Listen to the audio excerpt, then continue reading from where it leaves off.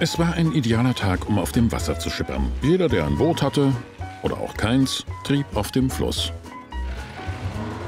Coco staunte. Noch nie im Leben hatte er so einen Haufen Boote gesehen. Aber plötzlich entdeckte er etwas vollkommen Neues, etwas ganz Besonderes. Bootfahrende Autos. Oh ja, dieses Schiff ist eine Fähre. Sie bringt Menschen und Fahrzeuge über den Fluss. Coco war verrückt nach Autos. Und Autos und Boote zusammen, das war wie Schlagsahne und Eis zusammen. Ahoi Leute, willkommen zu unserer jährlichen Modellbootschau. Große Preise für kleine Schiffe. Coco! Komm schnell her! Na, wie findest du mein altes Mädchen? Das ist Matrosensprache, weißt du? Ich wette, ein Großstadtkind wie du hat das noch nie gehört. Ah, ist das deins, Bill? Ja, genau. Kompliment, ich finde es ziemlich beeindruckend. Du auch, Coco? Na ja, danke schön.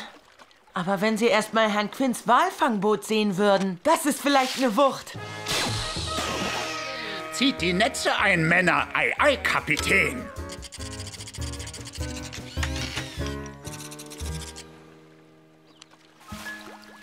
Und da drüben ist Frau Renkins mit ihrer Arche.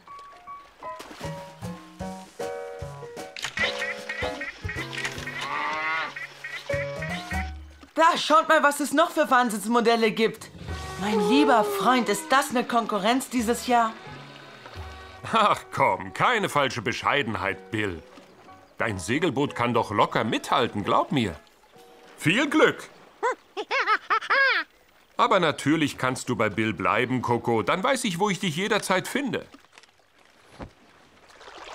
Na, dann gehe ich schon mal auf die Tribüne, sichere uns gute Plätze und sehe mir die Konkurrenz mal genauer an.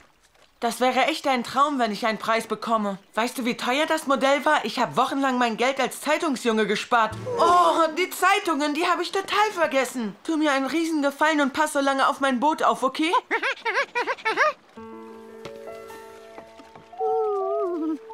Bin gleich wieder da. Coco wusste, dass das eine große Ehre war. Es gab zwar viele schöne Boote im Wasser, aber das Tollste von allen war nicht dabei.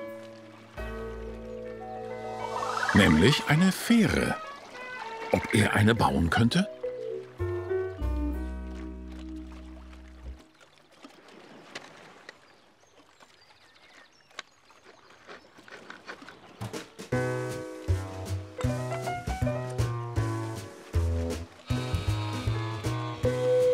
Kapitän einer Fähre zu sein, war schon immer Kokos großer Traum. Seit er zum ersten Mal davon gehört hatte. Also seit gerade eben.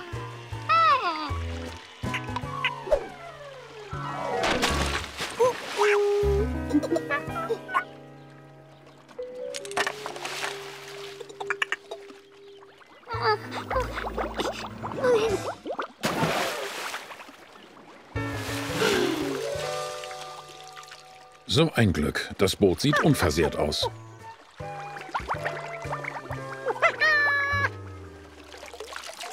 Irgendetwas stimmt hier nicht.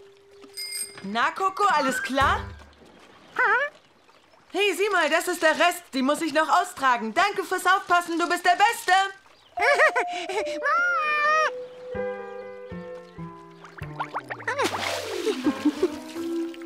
Coco wusste nicht, was er falsch machte. Das Boot sah doch bestens aus.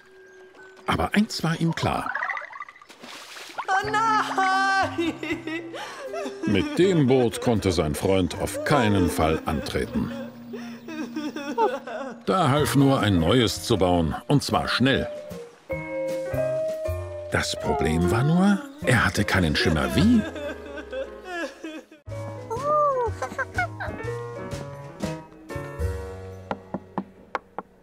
Ah, das Klopfen kenne ich doch. Kommt rein, ihr zwei. Meine Güte, was ist das denn? Mein Hobby. An kniffligen Dingen zu arbeiten entspannt mich.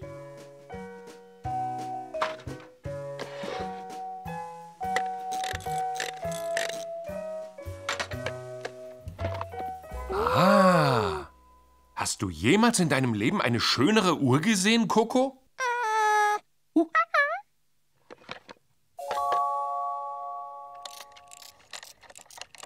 Na, dann passt mal auf, was sie zur vollen Stunde kann.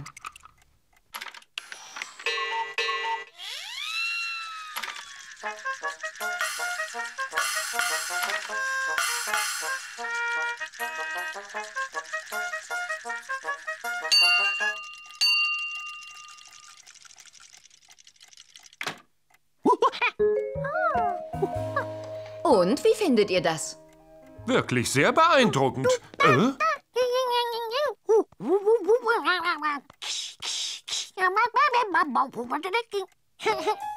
Schön, dass sie dir gefällt, Coco. Oh, wir müssen los. Wie es aussieht, fängt die Raketenschau gleich an. Na, willst du uns vielleicht begleiten? Oder bewachst du lieber meine Uhr? Verstehe. Wenn es Frau Professor Weisheit recht ist, habe ich auch nichts dagegen. Und wenn du die kleinen Leute noch mal sehen willst, dreh den großen Zeiger einfach einmal im Kreis auf die 12. Viel Spaß! Wie lange schrauben Sie denn schon an der Uhr herum? Ach, erst drei Jahre. Ah, so ist das. Äh, einen Moment, ich komme gleich nach. Also, Coco, sei ein braver kleiner Affe. Genau das meine ich. Coco wartete ungeduldig auf die kleinen Leute.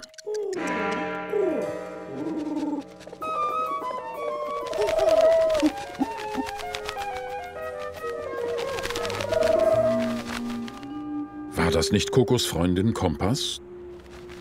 Die verwirrte Brieftaube? Denn während alle anderen Brieftauben sich ordentlich auf der Statue versammelten, wusste sie nicht richtig wohin.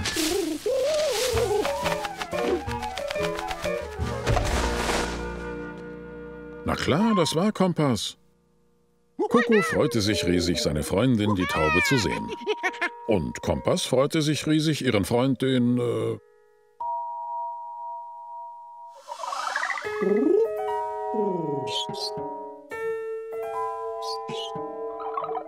Was war Coco nochmal? Egal.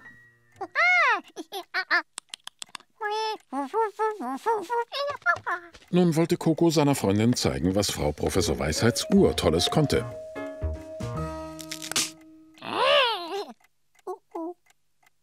Aber der große Zeiger musste unbedingt dran sein, wenn man die kleinen Leute sehen wollte.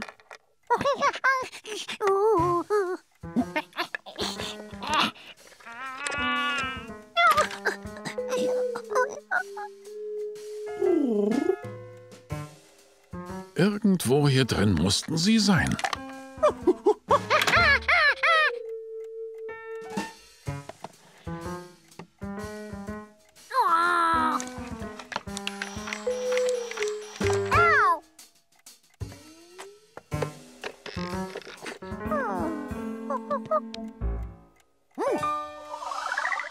Da fiel es Coco wieder ein.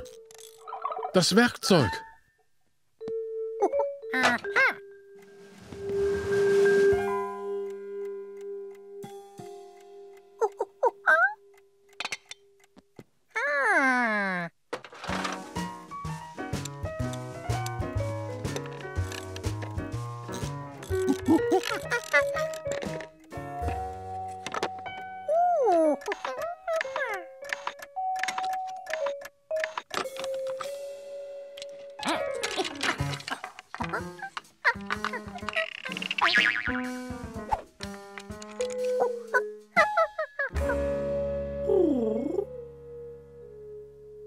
Wenn man etwas auseinandernimmt, sollte man sich allerdings lieber merken, wie man es wieder zusammenbaut.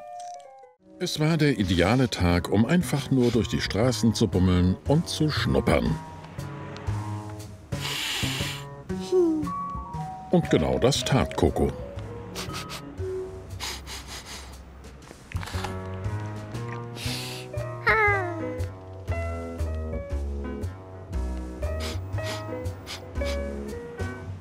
Seine Nase führte ihn zu den herrlichsten Düften. Und so erreichte er den Affen-Nasenhimmel. Hallo, Coco. Komm mit, hier hinten riecht es noch viel besser. Wie war es möglich, dass aus all diesen geruchlosen Zutaten so herrlich duftende Donuts werden konnten?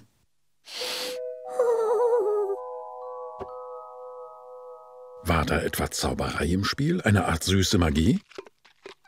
Aber plötzlich lenkten ihn seine Ohren von der Nase ab. Seine Freundin Noki kämpfte, was das Zeug hielt, mit ihrem stärksten Feind, einer seidenblauen Niedlichschleife Größe XXL.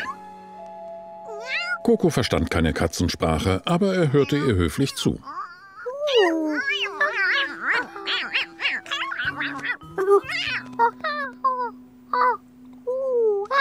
Noki war überglücklich, nicht mehr niedlich aussehen zu müssen und ernannte ihren Freund offiziell zum Katzenheld.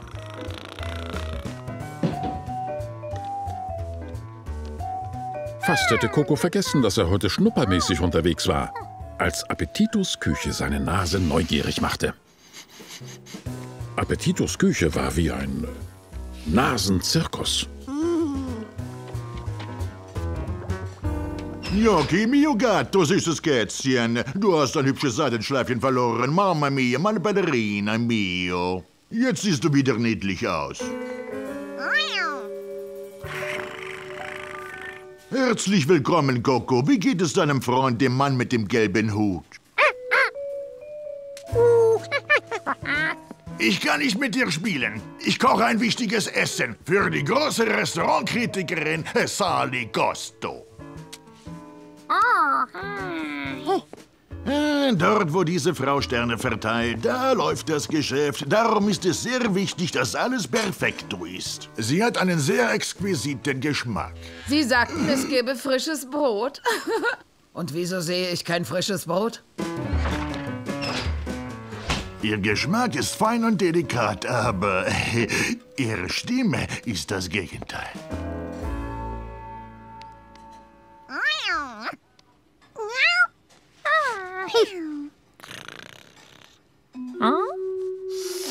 So ein hartes Ding nennt sich also Spaghetti. Roch nach gar nichts.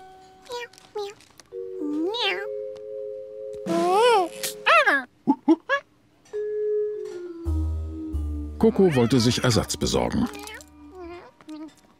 Appetito hatte eine Riesenpackung in den Topf geworfen. Es roch nach überhaupt nichts. Aber der Dampf, der seine Nase berührte, war sehr heiß. Coco musste vorsichtig sein.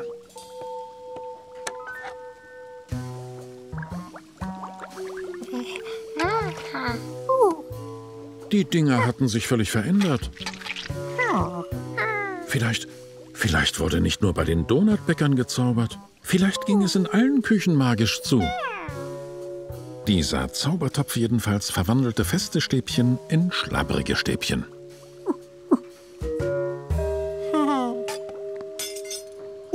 Das verlangte nach mehr Schlabberzauber. Wie wär's mit einem Schlabberei? Könnte komisch sein.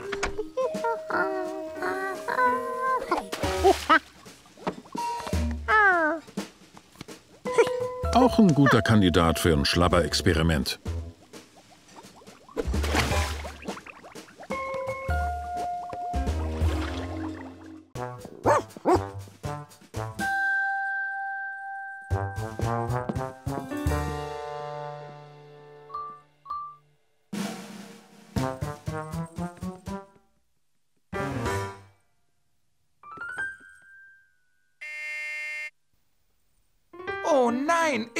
Korrekt angezogen. Ein Paket für Sie, ich hab's gleich hochgebracht. Darauf habe ich schon gewartet. Ich kaufe und verkaufe signierte Bälle. Die sind sehr wertvoll. Dieser hier ist von Fredi Freistoß. Heute kommen noch mehr Bälle an, ein ganzer Haufen kostbare Sammlerstücke. Keine Sorge, Hector und ich werden Ihnen die Bälle bringen. Und ich laufe ohne Uniform herum. Ach, die Uniform eines Portiers ist genauso wichtig wie seine Tür. Was ist los, Hector? Oh, pass auf! Die ist voller... Äh, oh nein, das ist mein letztes sauberes Hemd. Die Uniform eines Portiers muss tipptopp sein. Ich muss sofort zur Reinigung. Ich bin gleich wieder da. Du hältst die Stellung, Hector. Hector wusste, was jetzt das Wichtigste war. Nämlich Coco im Auge behalten. Coco hatte gar nicht gewusst, wie gut ihm die Uniform des Portiers gefiel.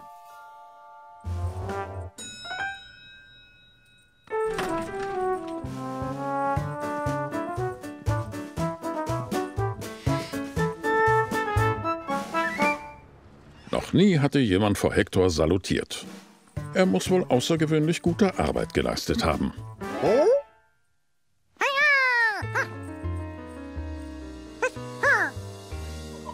Uniform eines Portiers ist genauso wichtig wie seine Tür. Hector musste dem Affen die Uniform abnehmen. Aber er durfte auch seine Arbeit nicht vernachlässigen. Wie ich sehe, hast du einen neuen Kollegen, Hector. Ihr seid zwei hübsche Kerlchen.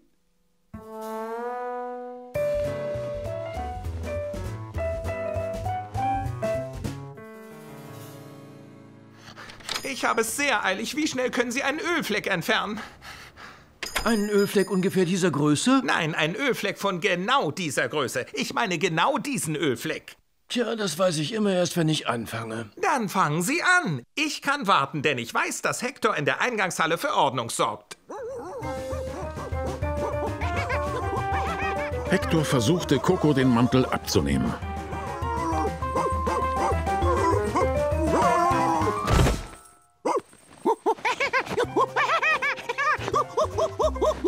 Und dabei fand er heraus, dass Coco kitzlig war.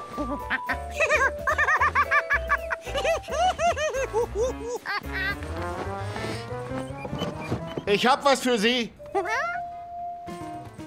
Hector wollte nicht, dass die Leute glaubten, der Portier seines Hauses sei ein Affe.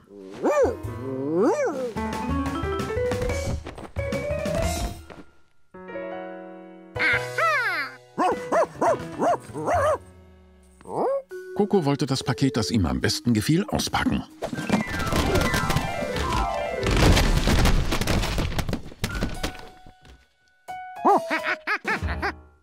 Die Ordnung musste wiederhergestellt werden. So durfte seine Eingangshalle nicht aussehen. Hector versuchte Coco klarzumachen, dass diese Pakete nicht für ihn seien. Aber Coco dachte, der Dackel wollte mit ihm spielen.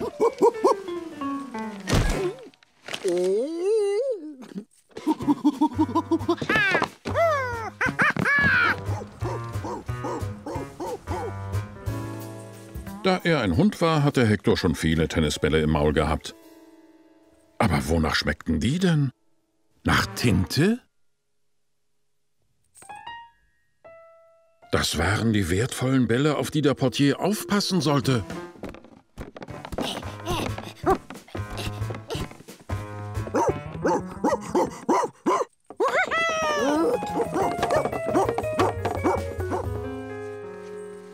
Hector konnte Coco nicht daran hindern, die Pakete zu öffnen, weil er dachte, sie gehörten ihm. Aber er war kein schlechter Verteidiger.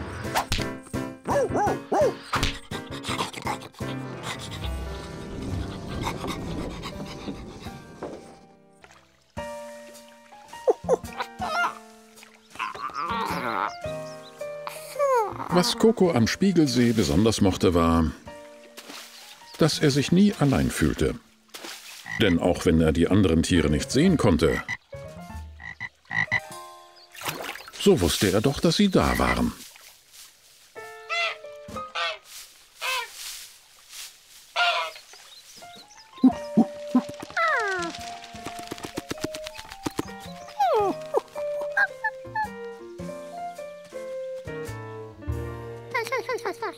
Coco, hallo. Hilfst du mir bitte mal?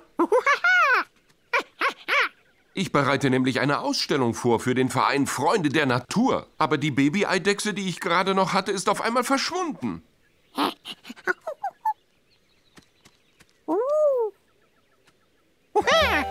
Na sowas, danke. War es schön am See?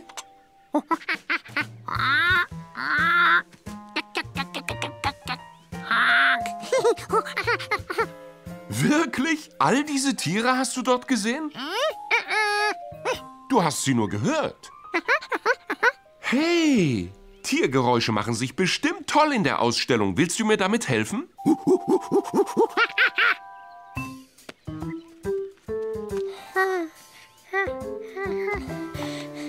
Also pass auf, du musst nur das Mikrofon an das Geräusch halten, bis du es im Kopfhörer laut und deutlich hören kannst. Und dann drückst du den roten Knopf und nimmst es auf. Merke dir eins, je näher du dem Tier kommst, desto besser kannst du es hören. Aber geh nicht zu nahe heran.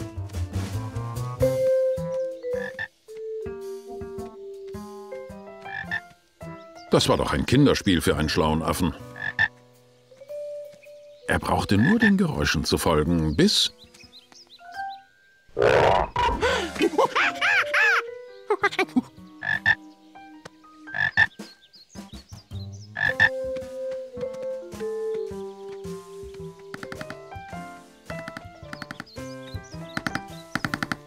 Er entdeckte einen Specht.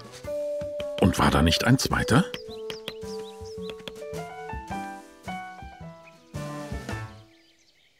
Geräusche waren nicht so einfach zuzuordnen.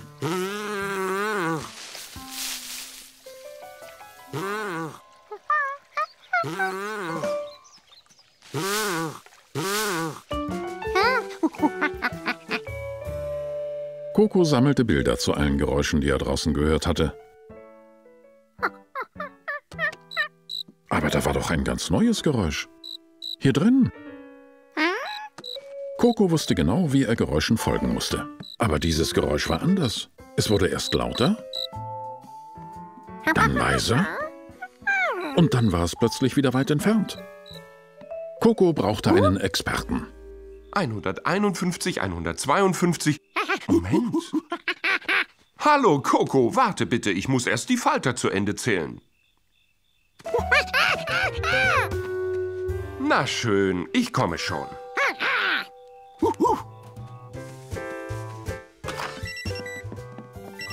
Oh, das ist doch nur der Rauchmelder, Coco. Er braucht neue Batterien. Coco war aber nicht sicher, ob das wirklich das Geräusch war, das er gehört hatte. Und nun zurück zu den Faltern.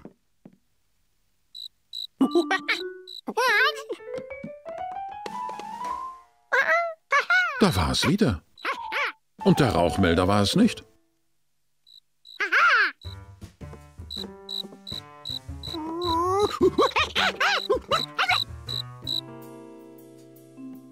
Aber mit Sicherheit war es hier irgendwo.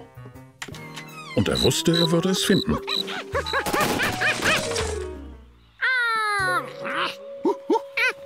Natürlich, es musste aus dem Fenster entwischt sein.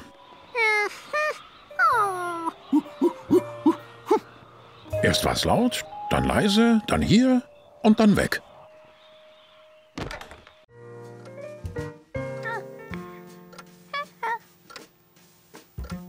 Coco zählte an diesem Vormittag jede Minute. Er konnte es kaum erwarten. Denn heute war Hundeschau.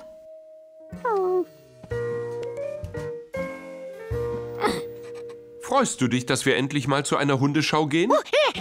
Eine Hundeschau. Hunde, die Kunststücke vorführen, wie in einer Show. So stellte Coco sich das vor. Das wird bestimmt Frau Professor Weisheit sein. Kannst du ihr aufmachen?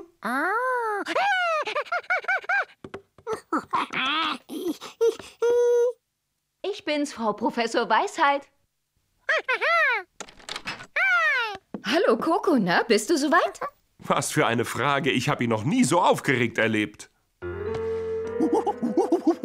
Ich kann nicht mit. Hast du das vergessen? Ich muss den ganzen Tag Rechnungen schreiben. Bis dann. Viel Spaß, ihr beiden. Und, äh, Coco. Sei ein braves kleines Äffchen. Ja, genau. Und mach bitte die Tür zu.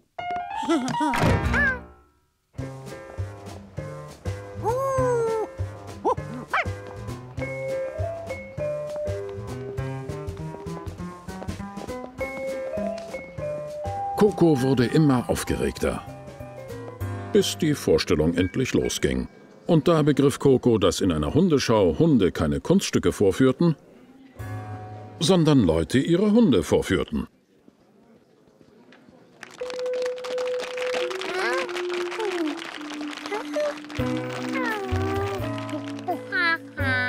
Und von da an passte Coco nicht mehr wirklich auf.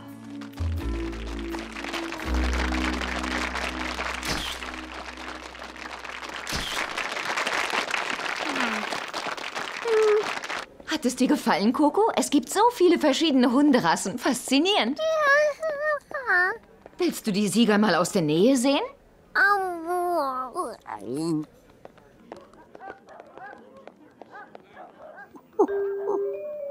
Da erlebte Coco eine große Überraschung. Denn als er sich die Hunde genauer anschaute, die großen,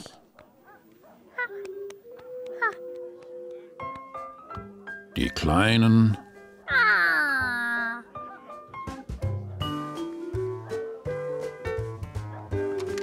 und die unglaublich haarigen, gefiel ihm die Hundeschau auf einmal viel besser. Hast du in deinem Leben schon einmal so viele verschiedene Hunde gesehen? Doch? Ah, ich verstehe. Es sieht aus, als hättet ihr viel Spaß gehabt. Ich hoffe, er hat Ihnen keinen Ärger gemacht. Aber nein, er war wirklich sehr lieb. Was für eine Überraschung. Das freut mich aber zu hören. Also dann, ich muss jetzt los. Wir sehen uns morgen. Vielen Dank nochmal. Wiedersehen. So, die Hundeschau hat dir also gefallen, hm? Coco wollte dem Mann mit dem gelben Hut alles über die einzigartigen Hunde erzählen, die er gesehen hatte.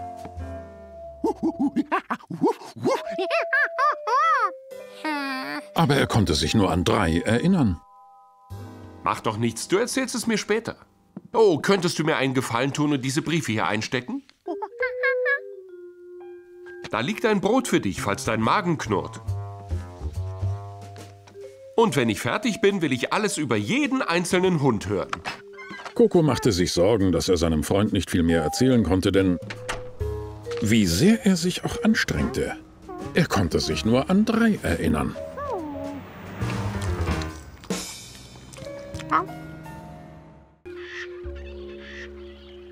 Es war ein wunderschöner Tag, um den Spiegelsee zu erkunden. Bill meinte sogar, es sei ein bildschöner Tag.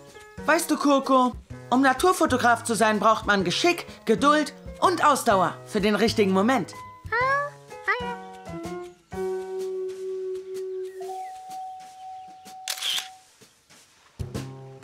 Denk daran, Coco. Wenn du über einen Baumstamm balancierst, musst du vorsichtig einen Fuß vor den anderen setzen, damit du nicht das Gleichgewicht verlierst.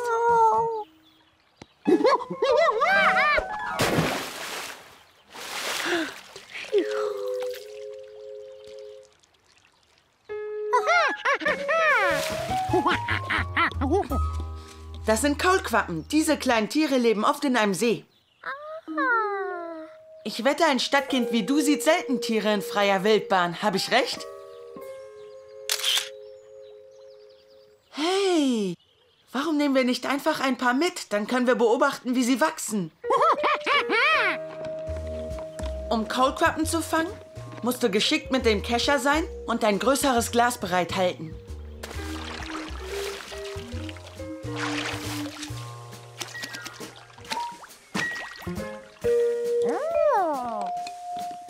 Hey Coco, wie fändest du es, wenn du dich in nächster Zeit um sie kümmerst?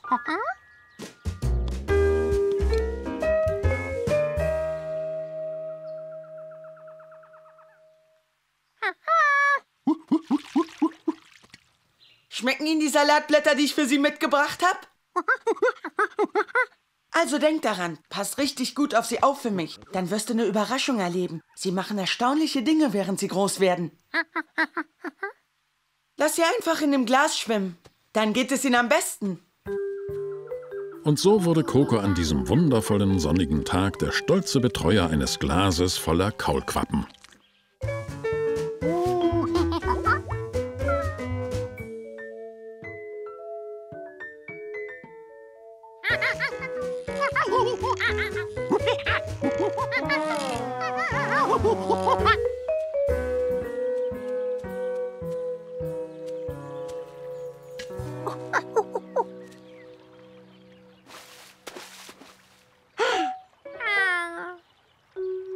Coco fand das Glas für die Kaulquappen zu klein. Sie hatten ein Recht, sich ordentlich auszustrecken. Und er fand, dass ihnen eine Runde Schwimmen im See sicher gut tun würde, während er ihnen Mittagessen besorgte.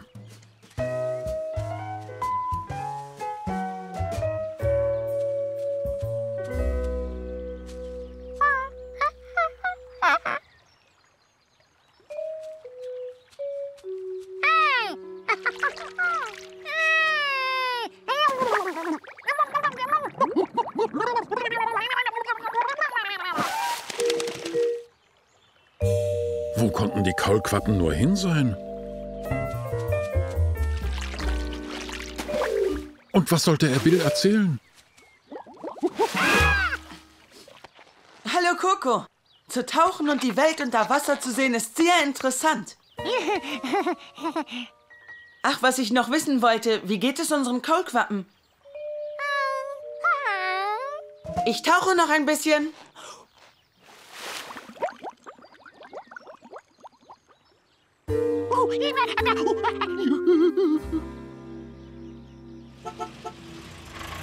Wir müssen zurück in die Stadt, Coco.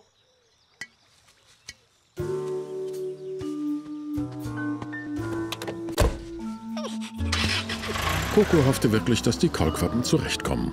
Ganz ohne ein Äffchen, das sie fütterte und beschützte.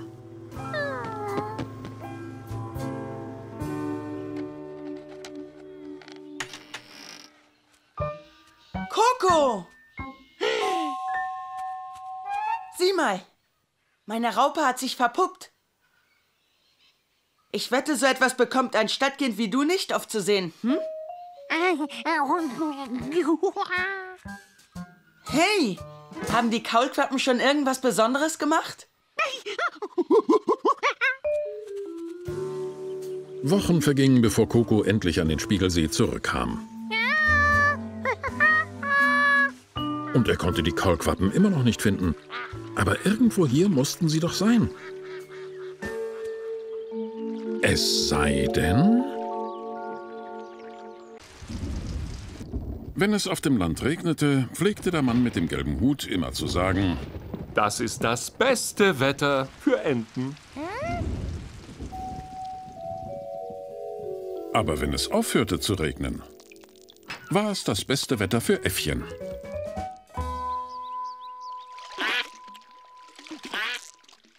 Matsch, der sich anhörte wie eine Ente, wenn man mit den Zehen spielte.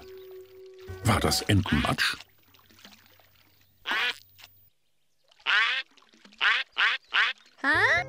Aber dieses Quaken macht nicht Kokos Zehen. Er hatte Entenmatsch, der von selbst quakte, entdeckt. Na gut, es war wohl doch kein Entenquakmatsch. Die Enten quakten wirklich.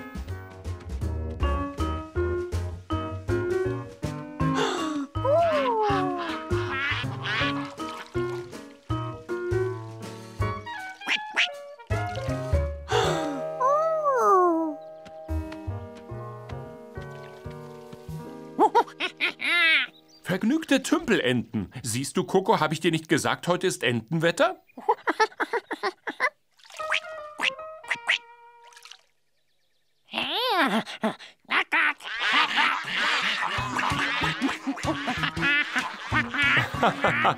Jetzt bist du beschäftigt, Coco. Viel Spaß! Hopsi, dem Eichhörnchen, fielen plötzlich zwei Dinge auf. Es regnete nicht mehr. Und diese Ente mit dem braunen Fell kam ihm bekannt vor.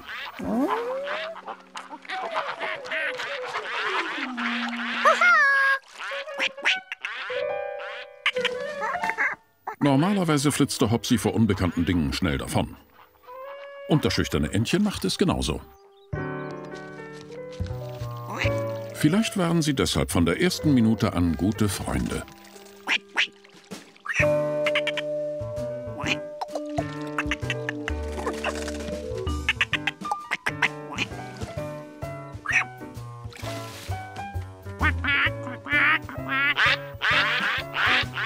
Coco spielte den ganzen Tag am Tümpel. Und nachts träumte er sogar von Enten.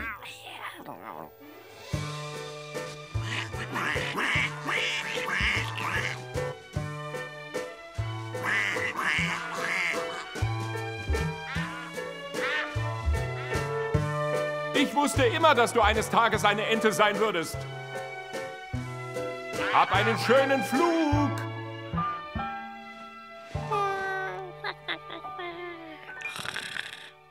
Seit Ewigkeiten fragen sich Menschen, wovon Eichhörnchen wohl träumen.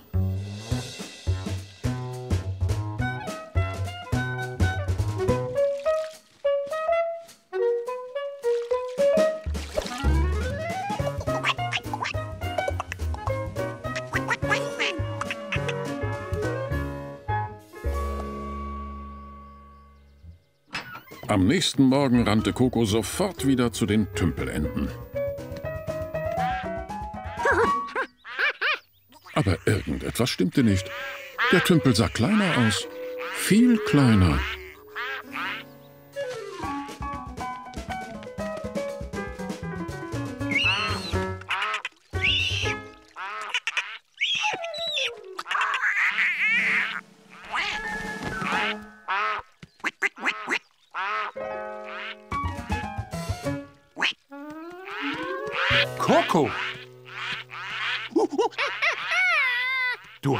Recht, der Tümpel ist heute viel kleiner. Na ja, das Wasser versickert in der Erde. Es bleibt nicht für immer.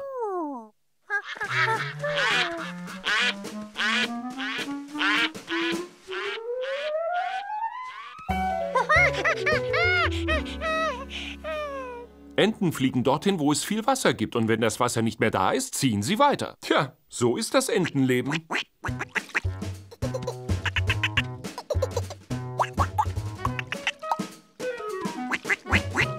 Willst du mitkommen und mir bei den Rennkins helfen? Oder möchtest du lieber noch mit den Enten spielen? Na gut, wir sehen uns nachher. Bis dann.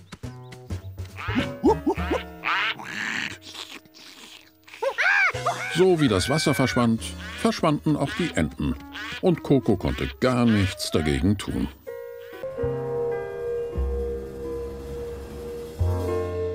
Für einen ausgezeichneten Wachhund wie Hector war ein kleines, friedliches Schläfchen eine echte Wohltat. Da aber ein neugieriges Äffchen in seinem Haus wohnte, musste er trotzdem stets wachsam sein, unmöglichen Schaden zu verhindern. Hallo, guten Morgen. Haben Sie heute etwas Schönes vor? Nicht direkt, ich muss zum Arzt zu einer Routineuntersuchung.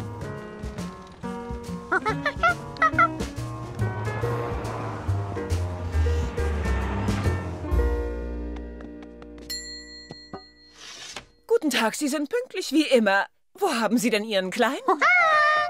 Hallo, Coco. Wie geht's dir? Nehmen Sie bitte Platz. Ich rufe Sie, wenn der Doktor soweit ist.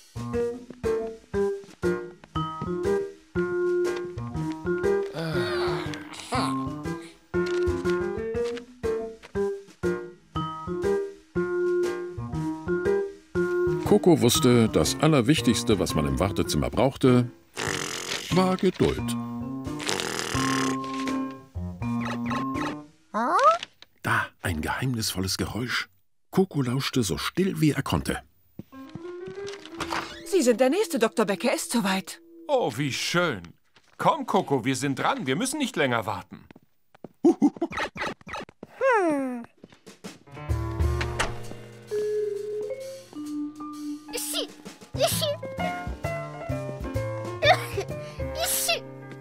Dieses Niesen war so laut, dass er sein geheimnisvolles Geräusch nicht mehr hören konnte. Ich warte immer noch auf Dr. Wohltat. Bitte haben Sie noch einen kleinen Augenblick Geduld. Verzeihung, ist Dr. Wohltat auch noch nicht bei Ihnen gewesen? Nein, bisher noch nicht. Wo steckt er denn? Er wird gleich bei Ihnen sein. Warten Sie etwa auch noch auf Dr. Wohltat? Er wird bestimmt gleich kommen. Hallo, Doktor. Erinnern Sie sich noch an Coco? Aber natürlich. Bevor ich ihn kannte, wusste ich nicht, dass die Röntgenmaschine durchs Fenster passt. Dr. Becker, haben Sie Dr. Wohltat gesehen? Seine Patienten warten auf ihn. Nein, habe ich nicht. Sehen Sie mal im Röntgenzimmer nach. Und Sie machen bitte Ihren Oberkörper frei, damit ich Sie untersuchen kann. Ja, natürlich, Doktor. Coco wäre auch gern ein Arzt. Dr. Becker schien ihm sehr schlau zu sein. Und er durfte einen schicken weißen Kittel tragen. Also gut, legen wir los. Stellen Sie sich bitte auf die Waage.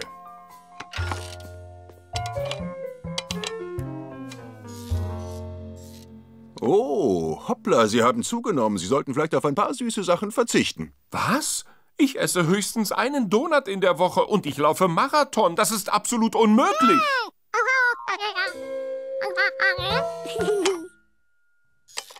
Jetzt ist das Gewicht wie im letzten Jahr.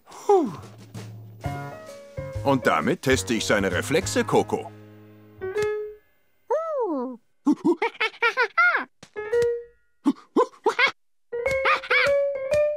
Klopfen Sie nicht ein bisschen viel? Mein Knie fängt an weh zu tun. Oh, Entschuldigung. Ich habe so selten Gelegenheit, mit einem Äffchen zu spielen.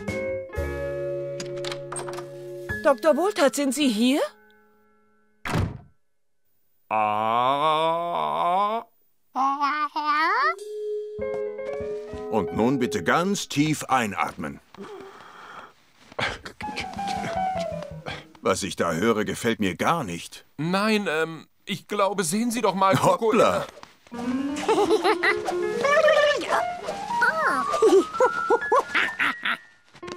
Weißt du, was ein Stethoskop ist, Coco? Damit höre ich solche Dinge, die ich nicht sehen kann.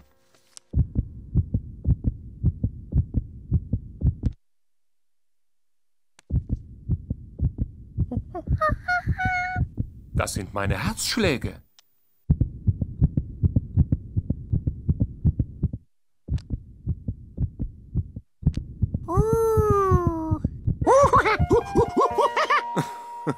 Hier, du darfst damit spielen. Wir gehen kurz ins Röntgenzimmer.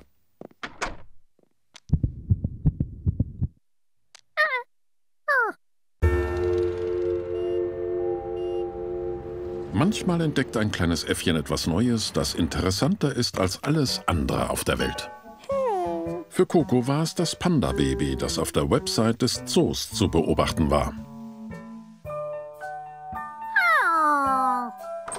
Ähm, Coco, wirst du noch lange brauchen?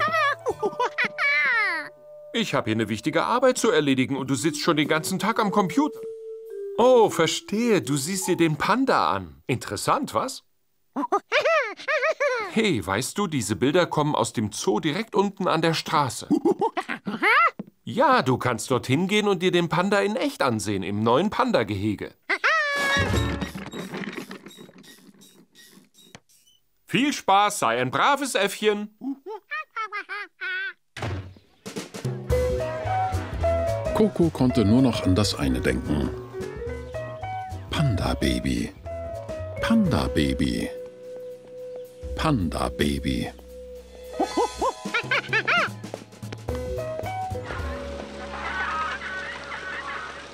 Guck mal, Mami, Flamingos. Coco wollte nicht den falschen Weg einschlagen und kostbare Panda-Zeit verlieren. Aber wie sollte er sich entscheiden?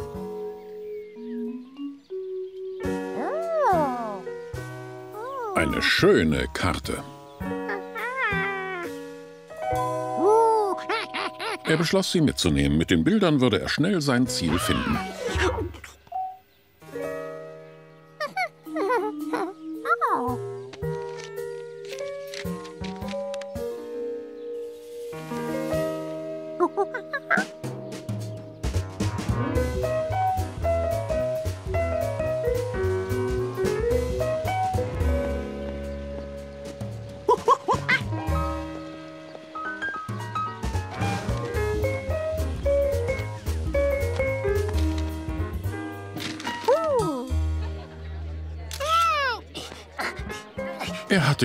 Pandas gefunden. Die Karte hatte ihm wirklich geholfen. Das war viel besser als die Bilder im Computer. Coco hätte dem Panda-Baby stundenlang zuschauen können. Und das machte er auch.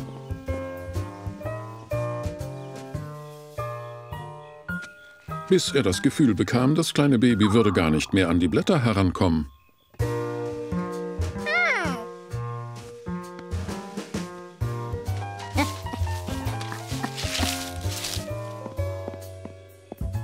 Noch jemand hier? Dann kann ich ja wohl schließen.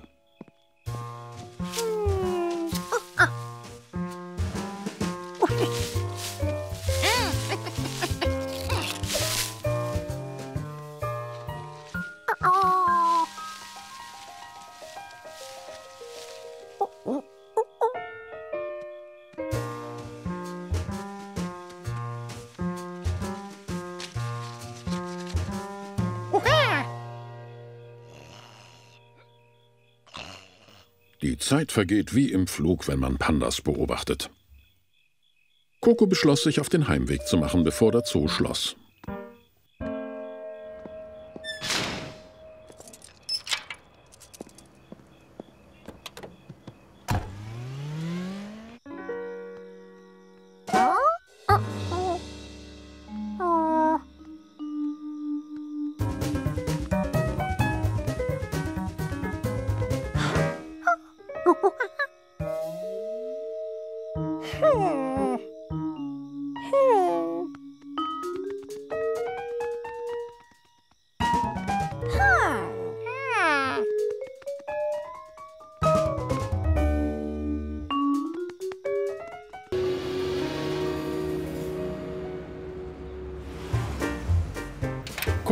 Coco liebte Besuche bei Frau Professor Weisheit. Sie arbeitet immer an neuen, interessanten Projekten. Heute half sie dabei, eine Rakete ins All zu schicken. Und der Mann mit dem gelben Hut würde in dieser Rakete mitfliegen. Na, sind Sie bereit, als erster Mann ohne Astronautenausbildung ins All zu fliegen? Ich bin bereit. Leider ist nur Platz für einen Coco, aber du darfst dich hier neben mich setzen, damit du alles beobachten kannst. Das hier sind Dr. Alwin Einstein und Professor Anton Pizza. Guten Tag, sehr erfreut. Sind Sie etwa verwandt mit dem berühmten... Nein, das bin ich nicht. Ich auch nicht. In der internationalen Raumstation gibt es nichts mehr zu essen. Wir haben noch eine Erdnuss gefunden. Sie war unter meinem Sitz versteckt. Dieser Mann hier mit dem gelben Hut wird euch Verpflegung bringen. Er startet in Kürze. Also mit anderen Worten, wir dürfen die Erdnuss jetzt essen? Ich bin der Meinung, wir gehen kein Risiko ein. Einverstanden. Geben Sie die Erlaubnis. Ja, ihr dürft die Erdnuss essen. Guten Appetit. Und das hier ist Ihre Rakete. Sie wurde von Frau Professor Weisheit entwickelt. Es hängt allein von Ihnen ab, die Ladung genau im richtigen Moment zu übergeben. Sie löst sich per Knopfdruck von der Rakete ab und dockt an der Raumstation an. Können wir uns auf Sie verlassen? Hundertprozentig.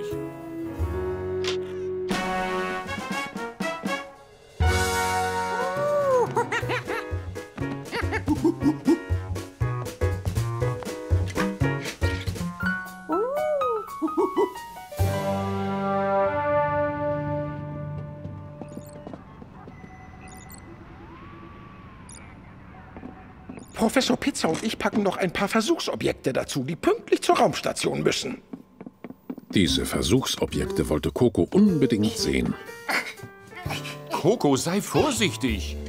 Das ist ein hochtechnologischer, kostbarer Waschbär? Sie sollen in der Raumstation wohnen, damit wir studieren können, wie sie mit dem Leben im Weltraum zurechtkommen. Coco konnte in alle Behälter hineinsehen. Nur in diesen einen nicht. Was sich wohl darin verbarg?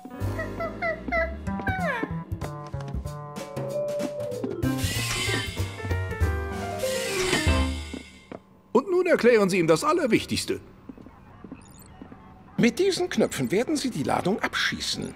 Sie müssen diese zwei Tasten auf allen vier Feldern gleichzeitig drücken. Auf allen vier Feldern gleichzeitig? Ja, und zwar genau in dem Moment, wenn die Rakete die Raumstation erreicht.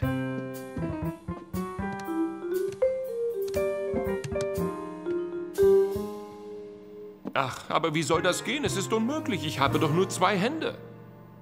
Die Tastenanordnung war Professor Pizzas Idee. Die Waschbären waren meine Idee. Für die Tasten bist du verantwortlich. Oh, geht das wieder los? Doch, ich erinnere mich genau. Du wolltest unbedingt die vier Felder haben und den weiten Abstand.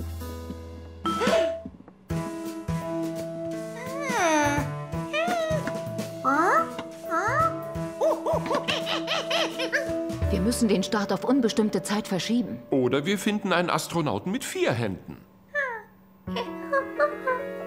Hey.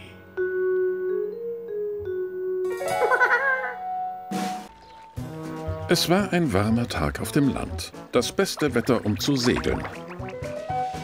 Mit einem Spielzeugsegelboot natürlich. Aber auch ein Spielzeugsegelboot kann plötzlich in unruhige Gewässer geraten.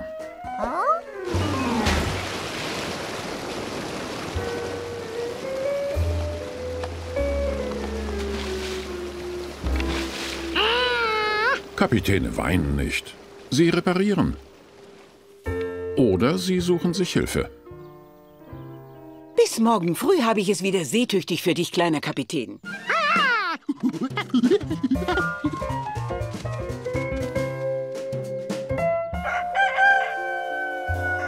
Und am nächsten Tag, früher als der frühe Morgen, Pünktlich auf die Minute. Hier, bitteschön, bereit in See zu stechen.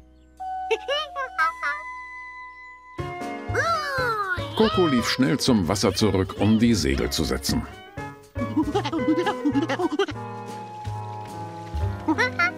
Nun hatte er ein Boot, aber kein Wasser mehr. Das Flussbett war nur noch ein Rinnsal. Wohin war das Wasser verschwunden? Nein, er konnte es nicht finden. Aber dafür entdeckte er diese seltsame Mauer.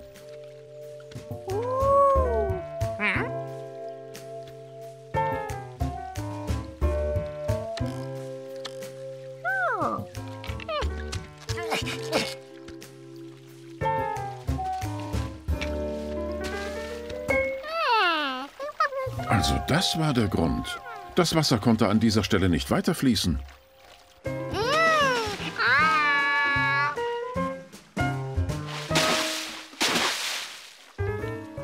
Hallo Coco, suchst du etwa die Biberfamilie? Die Biber haben diesen Damm gebaut. Sie stauen das Wasser zu einem See. Ich wette, in der Stadt siehst du keine Biber bei der Arbeit, hm?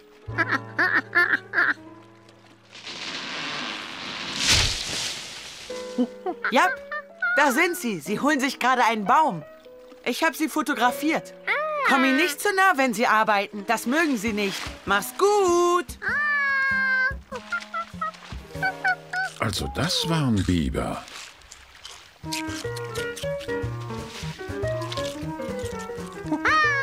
Coco wollte ihnen sagen, dass ihre Äste davontrieben. Dabei muss er ihnen zu nahe gekommen sein.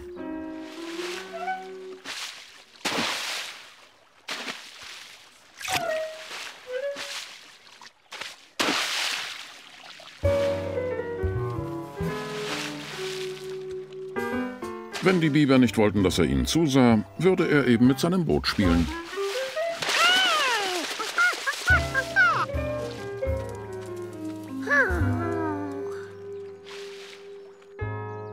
Und wenn sie ihren See nicht teilen wollten, musste er sich eben einen eigenen bauen. Und zwar mit genau so einem Staudamm.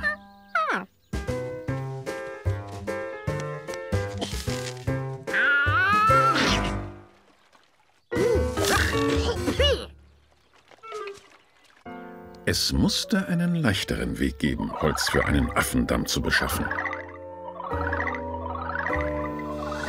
Ja, Frau Renkens Brennholz. Na, hattest du Spaß mit deinem Boot?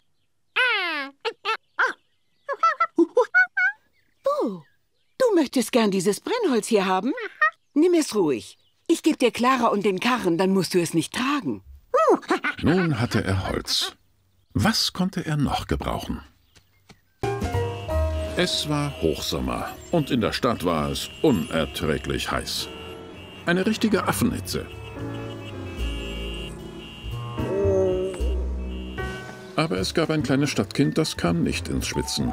Denn es war auf dem Land, wo es erfrischend kühl war. Coco! Das nennst du eine Bombe? Warte! Ich zeig dir, was eine echte Bombe ist! Coco liebte das Land. Hier gab es so viele Dinge, die es in der Stadt nicht gab. Man konnte Frösche quaken hören. Man konnte den Windhauch der Flügel spüren, wenn ein Kolibri seine Kreise um eine Blume zog. Und nachts sah man einen Himmel voller Sterne. Na, was treibst du, Coco? Sterne zählen? Niemand kann sagen, wie viele Sterne es wirklich gibt. Nicht mal die Wissenschaftler. Und da dachte Coco, vielleicht war es an der Zeit, dass jemand es herausfand.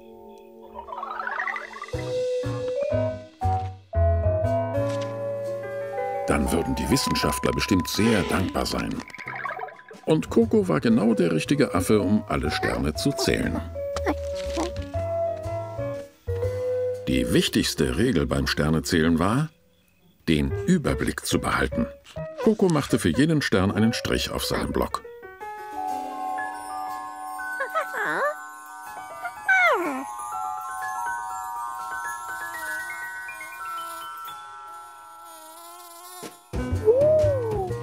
Die zwei wichtigsten Regeln beim Sternezählen waren, den Unterschied zwischen Sternen und Glühwürmchen zu kennen und den Überblick zu behalten.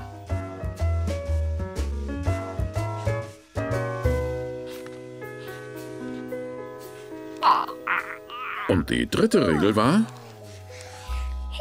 die beiden ersten Regeln spielten keine Rolle, wenn man dabei einschläft.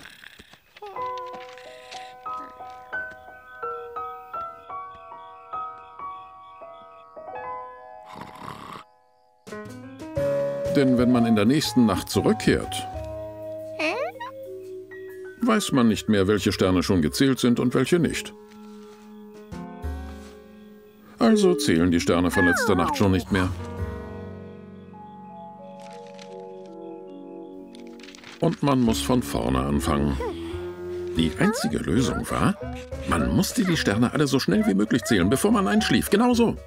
1, 2, 3, 4, 5. 1, 2, 3, 4, 5. 1, 2, 3, 4, 5. 1, 2, 3, 4, 5.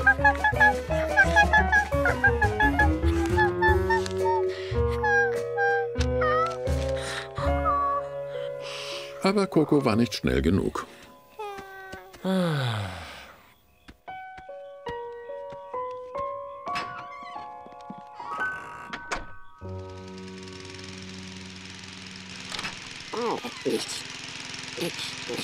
Guten Morgen, Nachbarn. Hallo, Bill. Coco war letzte Nacht lange wach, um Sterne zu zählen. Es ist wirklich schade, dass du sie jetzt nicht zählen kannst. Dabei sind sie die ganze Zeit da, weißt du? Wir können sie am Tag nur nicht sehen, weil die Sonne so hell ist. Coco war sich dann nicht so sicher. Er fragte sich, was wohl wirklich mit den Sternen am Tag passiert. Vielleicht schlafen sie. Oder vielleicht werden sie ausgepustet wie Kerzen. Oder vielleicht zieht auch nur irgendein Junge mit blonden Haaren an einem Schalter. Was auch immer passiert, jedenfalls kann man nichts zählen, was man nicht sehen kann. Aber Coco gab nicht auf. Es musste einen Trick geben, wie man die Sterne zählen und schlafen kann. Dieser Trick musste ihm nur einfallen.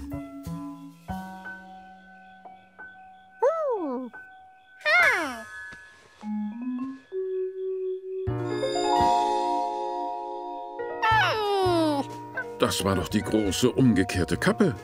Sie konnte eine Orientierung sein. Er konnte die Sterne darunter zählen und dann die oben drüber. Und schon hatte er ein System.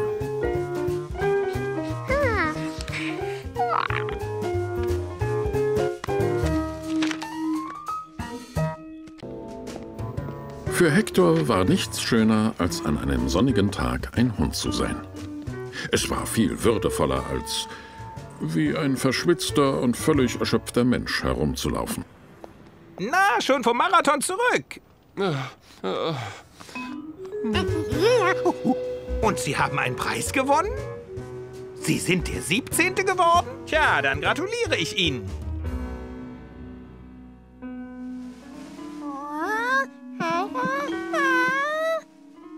Halte die Kamera ruhig. Und jetzt drück auf den Knopf. Ähm, ich werde ihn hier hinstellen. Neben den Preis für meinen Sprint auf einer Kuhweide.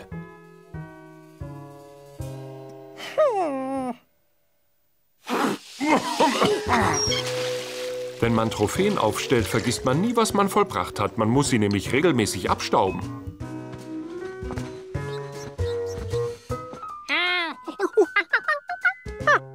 Diesen Preis habe ich für die Ersteigung eines Berges bekommen, der heute Berg des gelben Hutes heißt. Du wirst auch eines Tages Preise gewinnen. Eine Trophäe gibt es, wenn du etwas sehr gut machst. Wie zum Beispiel das beste, brave kleine Äffchen zu sein. Coco wusste, dass die Chancen dafür gering waren. Aber vielleicht konnte er in etwas anderem gewinnen, eines Tages.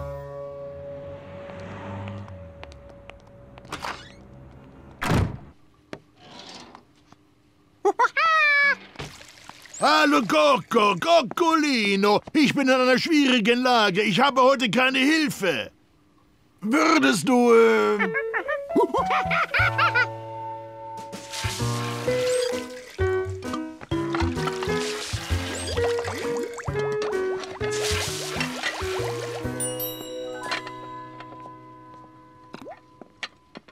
Alles erledigt. ich danke dir von Herzen. Grazie.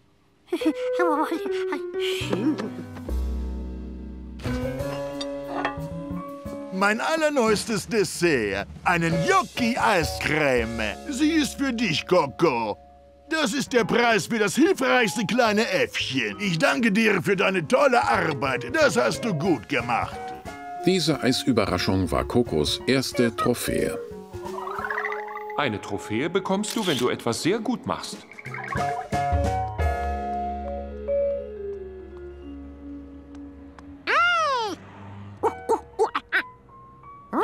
¡Ah!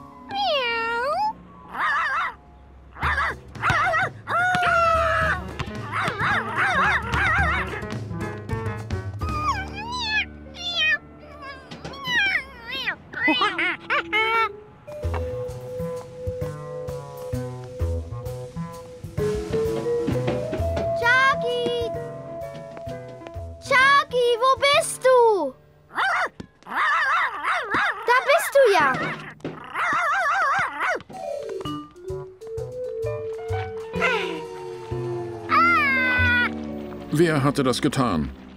Einen Preis für das hilfreichste Äffchen schmelzen zu lassen, war gemein. Coco, was ist denn passiert? Hast du deine Gnocchi-Eiscreme in der Sonne stehen lassen?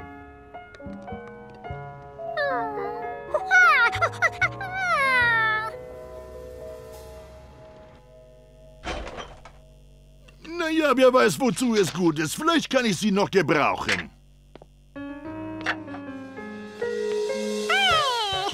Aber diesmal stell das Eis nicht in die Sonne, sonst schmilzt es wieder. Coco wusste jetzt, dass er seine Trophäe von der Sonne fernhalten musste.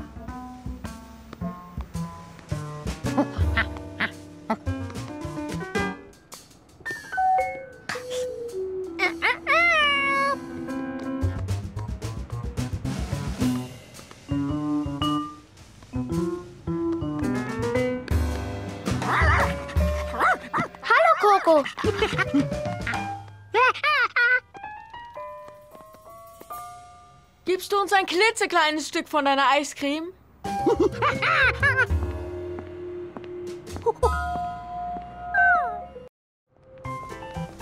Es war ein sehr ergiebiger Vormittag beim Räumungsausverkauf gewesen. Coco konnte sich nicht vorstellen, wie dieser Tag noch besser werden sollte. Oder etwa doch? Das große Kaufhaus hatte offenbar eine neue Süßigkeitenabteilung eröffnet.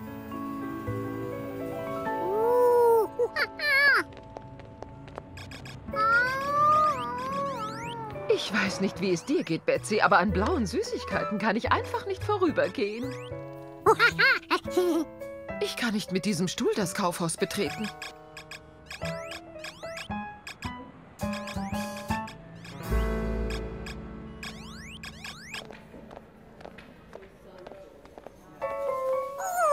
Die Pyramide macht sich besonders gut in Pink, finden Sie nicht auch?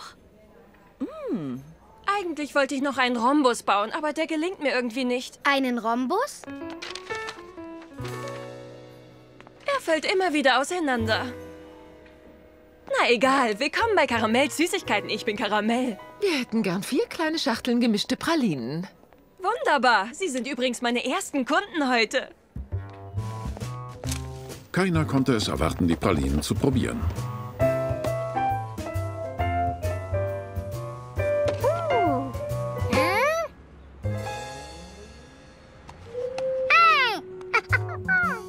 Hey, in Kokos Schachtel sind nur vier Stück, nicht sechs. Da kann wohl jemand nicht zählen. Er kann zwei von mir abhaben. Ich wollte sie ohnehin nur mal kosten. Heißt das, ich krieg die anderen drei? Coco fand, dass es nicht fair ist, wenn einer verzichten muss. Also tat er das einzig Richtige. Oh, nicht schon wieder.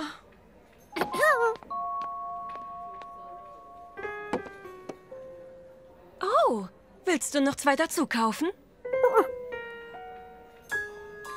Ach so, du meinst, es fehlten zwei in der Packung. Und woher weiß ich, dass du sie nicht gegessen hast? Stimmt, keine Spur von Schokolade auf deinen Zähnen. Die sind übrigens sehr hübsch, weißt du das? Na, also such dir zwei aus. Ach, entschuldige bitte, dass du zu kurz gekommen bist. Manchmal packe ich die Schachteln zu Hause und meine Katze lenkt mich ab.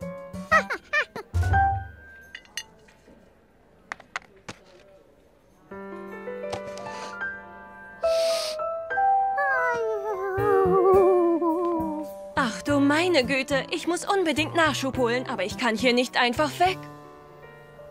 Hey, würdest du kurz auf meinen Stand aufpassen? Ich glaube, dass man dir voll und ganz vertrauen kann. Außerdem ist nicht viel los heute, wenig Kundschaft. Gib gut auf die Süßigkeiten acht, während ich weg bin.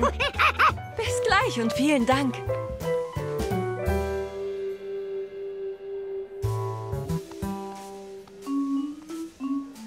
Der rätselhafte Rhombus. Coco fragte sich, ob er den Rhombus bauen könnte. So schwer sah das nicht aus.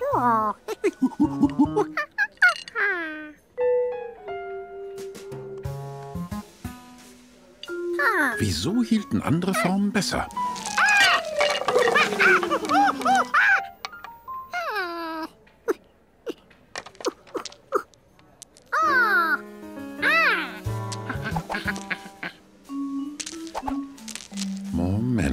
Vielleicht klappt es ja mit verschiedenen Formen und verschiedenen Farben.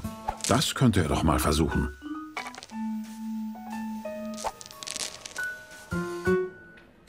Jetzt erst bemerkte er, dass Kundschaft da war. Ich möchte eine Schachtel Pralinen für meine Frau, wenn möglich mit Minze. Schmecken die hier nach Minze? Oder vielleicht diese hier?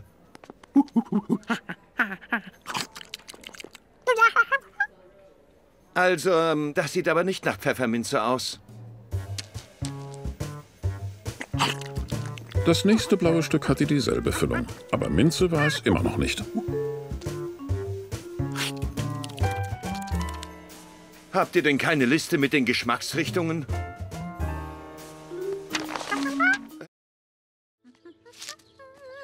Ah, qu'est-ce qu'il était beau, le jardin potager du chef Pasghetti. Nous manquons de tomates, d'aubergines, bref, nous manquons de tout. Anna, il va falloir que nous agrandissions les jardins. Regarde, j'ai dessiné ce qu'il faut acheter. Des tuyaux d'arrosage, des sacs de terre et des plants de légumes. Je veux bien, mais où veux-tu qu'on trouve la place? Pourquoi Georges aimait tellement ce jardin? Parce qu'il était en pleine ville, tout en haut d'un immeuble. Laisse-moi te dire une bonne chose. Si tu ne faisais pas autant d'essais, tu n'aurais pas besoin de tous ces légumes.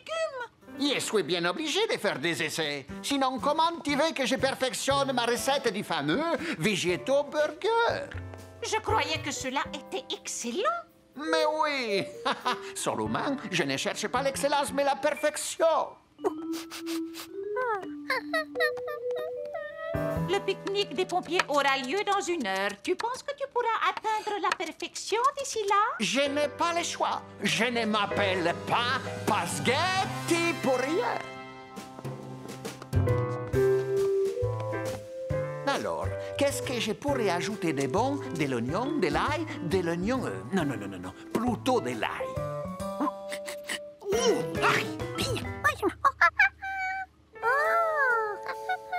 De l'oignon. Bon, d'accord. On va essayer.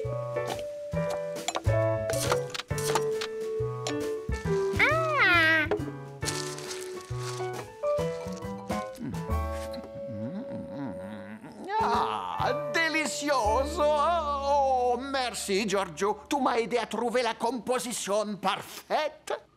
Ah. Ça, c'est mon carnet de recettes.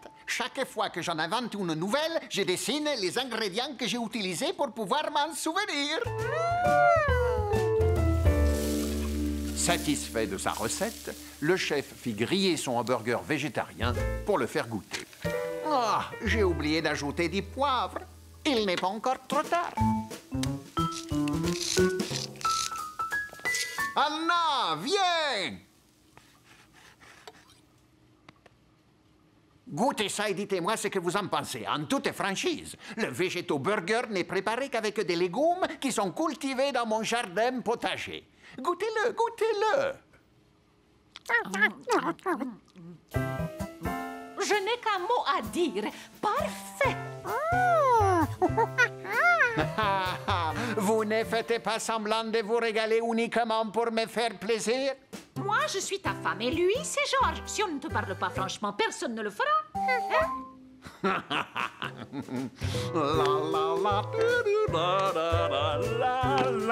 Alors le chef se dépêcha de préparer suffisamment de végéto burgers pour le pique-nique des pompiers.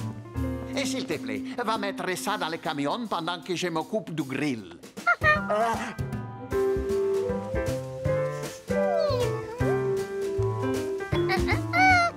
Georges fit bien ce que le chef lui avait dit.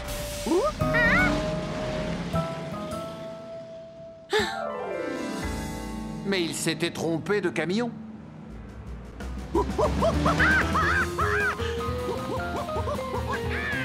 Hé, coucou Il y a un singe qui me dit bonjour, ces petites bêtes sont adorables.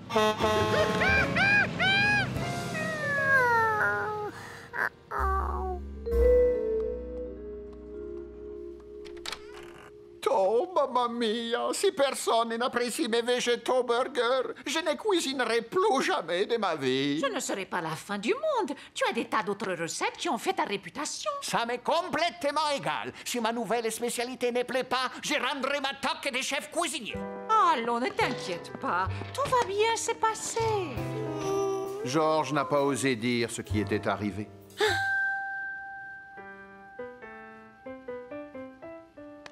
Il pouvait se servir du carnet de recettes du chef pour préparer exactement le même hamburger.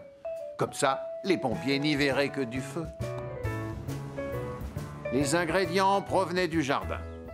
Comme tout était dessiné sur cette page, ça voulait dire que c'était la bonne recette. Coco konnte sich nicht erinnern, dass er den Mann mit dem gelben Hut schon jemals so erlebt hatte. Sonst war er ruhig und gelassen. Und er hatte seinen gelben Hut auf. Oh, da ist er ja. Hallo? Guten Morgen, treten Sie ein. Fertig, wie versprochen.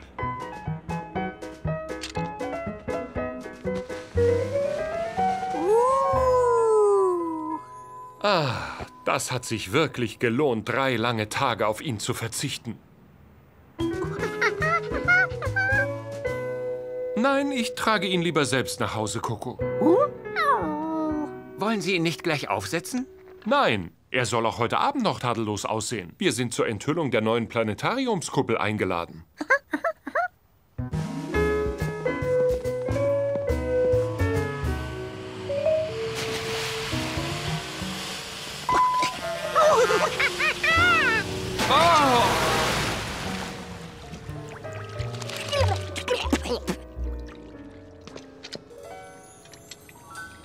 Ah, danke. Jetzt lass uns aber schnell nach Hause gehen, bevor meinem tadellosen sauberen Hut noch etwas zustößt.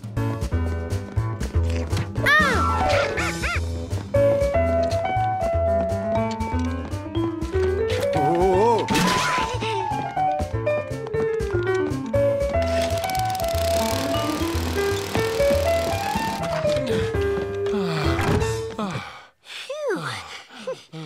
Was für ein Glück, wir haben es geschafft. Okay, also Coco, wenn ich zurückkomme, gehen wir gleich los zum Planetarium. Vergiss nicht zu baden. Es werden Fotografen da sein und ich möchte, dass du sauber und flauschig aussiehst. Coco wollte gleich ein Bad nehmen, so wie es ihm gesagt wurde.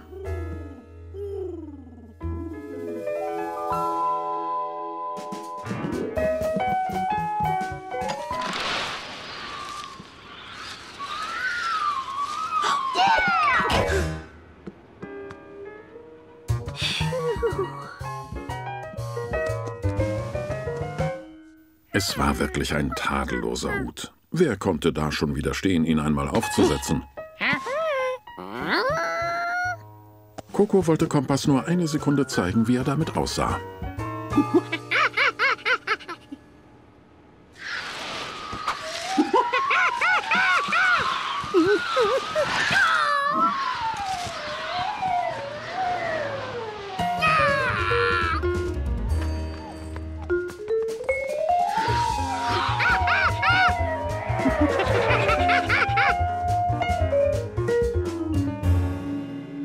Coco hatte den Hut hier entlang fliegen sehen, aber nun war er verschwunden.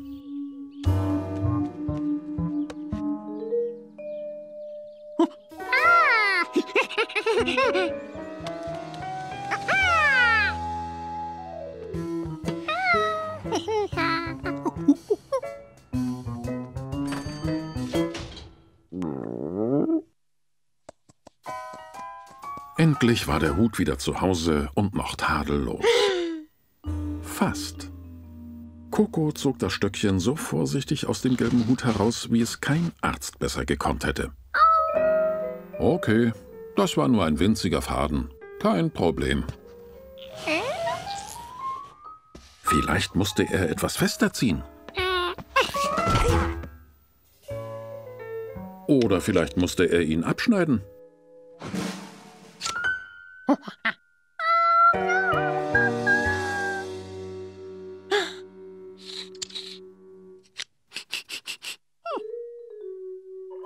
Coco hatte ganz vergessen, dass er seine Bastelschere das letzte Mal benutzt hatte, als er sein Marmeladenbrot in der Mitte teilen wollte. Das war doch nur ein winzig kleiner Fleck. Er musste ihn nur abschrubben.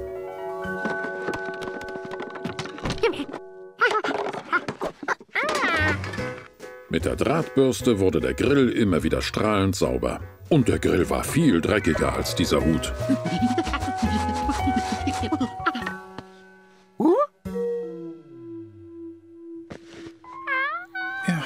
Zu stark geschrubbt.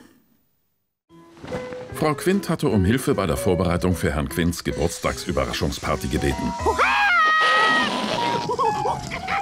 Und Coco bereitete sich eifrig darauf vor. Er übte Überraschung zu rufen und es klappte schon ziemlich gut. Aber er wollte der Allerbeste sein, also übte er immer weiter. Haben Sie für Ihren Mann schon mal eine Überraschungsparty gegeben? Wenn ich ihn nicht überraschen würde, würde er nie seinen Geburtstag feiern. Weil er so eine große Familie hat? Genau das ist der Grund. Ich halte auch schon nach Ihrem Mann, Frau Quint, aber er ist bisher nicht in Sicht. Jetzt brauchst du noch nicht nach ihm zu sehen. Er wird frühestens in zwei Stunden hier sein.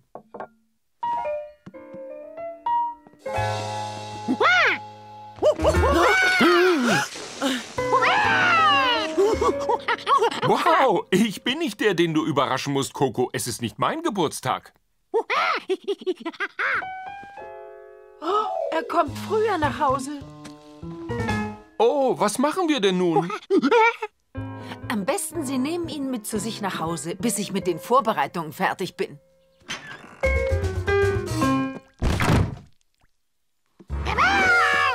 Nein, jetzt noch nicht, Coco. Hallo, meine Freunde. Na, wie geht's? Danke, gut. Oh, Sie haben ja ein Loch in Ihrem Boot. Sie hatten heute Pech, hm? Ach, alles halb so schlimm. Dadurch habe ich etwas vom See gesehen, das ich bisher nicht kannte. Den Grund. Jetzt muss ich mich erstmal von meinen durchnässten Socken befreien. Oh nein, tun Sie das nicht. Ich meine, ich wollte Sie fragen, ob Sie kurz zu uns kommen könnten. Wir, wir wollen einen Fischteich anlegen und brauchen den Rat eines Experten. Über, über Fische. Aber selbstverständlich. Lassen Sie mich nur ein paar trockene Sachen anziehen. Bitte trockene Sachen und nun hilf ihnen. Na schön, meine Liebe, wenn du es unbedingt willst. Hä? Kein Quint kann Fischkreckern widerstehen. Vielleicht werdet ihr die noch gut gebrauchen können. Na dann, ich wünsche euch viel Spaß.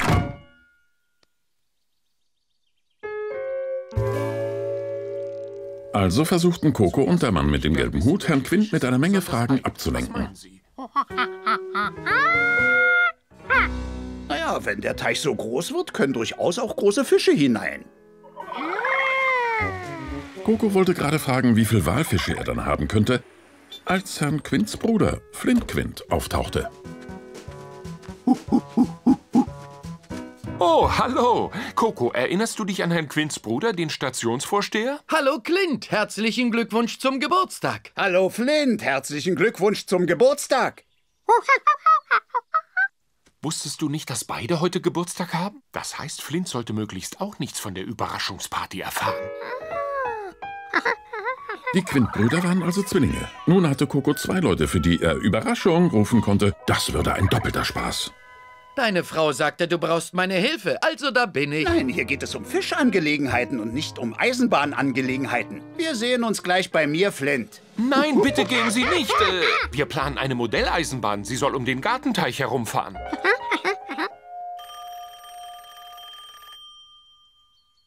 Bin gleich zurück.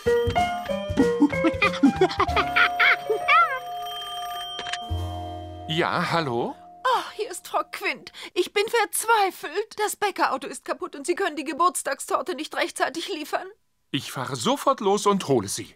Oh, vielen Dank. Das ist wirklich nett. Sie wissen ja, der Bäcker ist mitten im Dorf, die Straße runter und links. Die Gleise können nicht über den Teich gelegt werden. Das macht den Fischen Angst. Und was hältst du von der Idee eines Tunnels? Würden Sie einen Moment auf Coco aufpassen? Ich muss etwas erledigen. Oh, natürlich. Wir werden weiter am Teich tüfteln, während Sie weg sind. Du musst jetzt aufpassen, dass die Quins hier bleiben. Sie dürfen nichts von der Überraschungsparty erfahren. Coco dachte, das würde leicht werden. Denn sicher würden sich die Quint-Brüder stundenlang wegen des Teichs streiten. Also, wir haben alles ausgetüftelt. Den perfekten Teich und die perfekte Eisenbahn. Und du kommst jetzt mit zu mir nach Hause. Wir wollen nämlich sofort die Pläne zeichnen. Coco musste erreichen, dass die Quins hier blieben. Das war wichtig, wegen der Überraschung.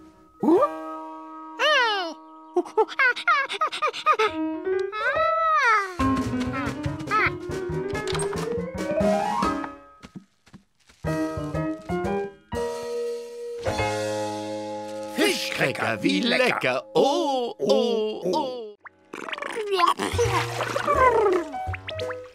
Es gab nur zwei Dinge, die Coco dazu bringen konnten, ein Bad zu nehmen. Seifenblasen und Springi, der genialste Spielzeugfrosch, den die Welt je gesehen hatte. Und der beste Seifenblasenmacher, den Coco kannte. Ohne ihn war ein Bad einfach kein Bad.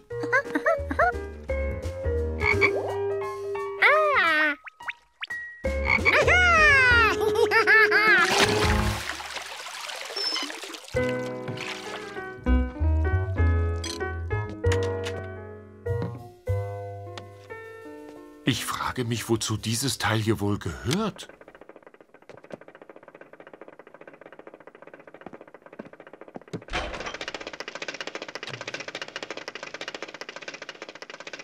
Oh, Coco!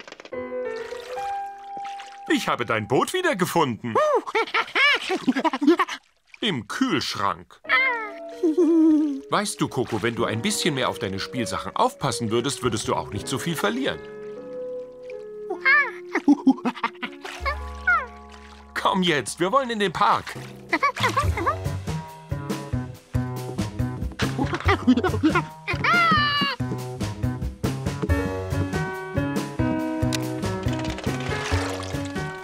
Freust du dich, dass wir dein Boot gefunden haben, Coco? Äh, Coco?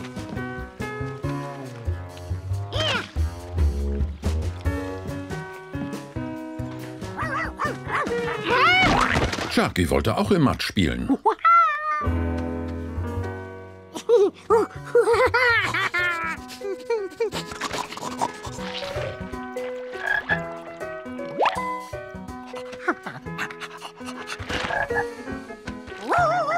Coco, lass uns nach Hause gehen und eine Kleinigkeit zum Mittag essen. Vielleicht willst du dich noch ein bisschen sauber machen, bevor wir losgehen.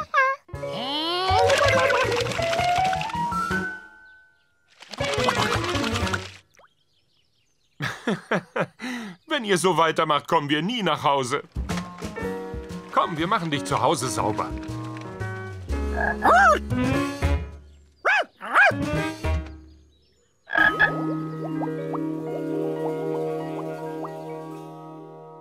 Es ist soweit, Coco. Das Essen ist fertig.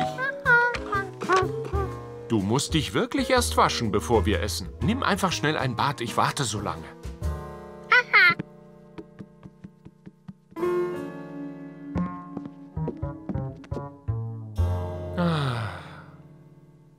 Es gab nur zwei Dinge, die Coco dazu bringen konnten, ein Bad zu nehmen. Seifenblasen und... Und... Springy, der Frosch. Coco fragte sich, wo der wohl sein könnte. Coco? Coco, warum brauchst du denn so lange?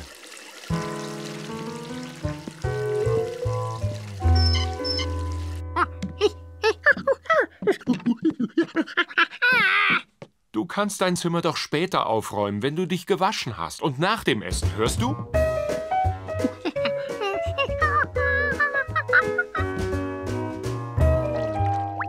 Spring rein! ah, verstehe. Du willst wohl zu Wasser gelassen werden wie ein neues Schiff? Na schön, los geht's. Allzeit gute Fahrt. Das kitzelt, Coco. Ich weiß, du hast heute schon gebadet, aber es hilft nichts. Du musst doch mal in die Wanne. Hey, schau mal, all die hübschen Blasen. Siehst du? Aber Coco konnte unmöglich ohne Springy baden. Er musste doch hier irgendwo sein. Coco?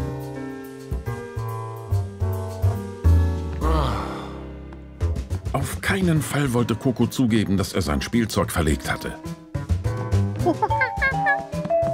Er würde Springy schon finden.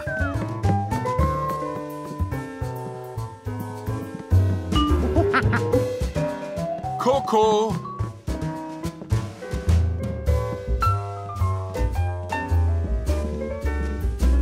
Coco! Eines der schönsten Dinge auf dem Land ist die frische Milch. Guten Morgen, Herr Rankins. Und für Coco war das schönste Ding an der frischen Milch die Kuh.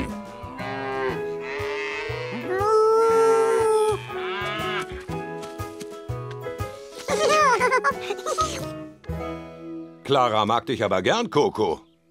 Glückliche Kühe geben die meiste Milch, also lasst sich ruhig noch etwas abschlecken, wenn es ihr so gefällt. Hört sich das nicht nach Spaß an? Oh, und denk daran. Sei ein braves kleines Äffchen.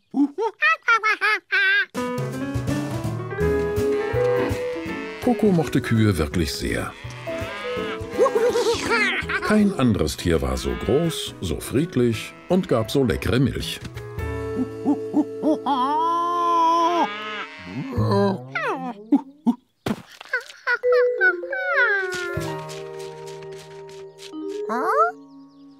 Wie es aussah, hatte Hopsi das Eichhörnchen seine Vorräte wirklich überall versteckt.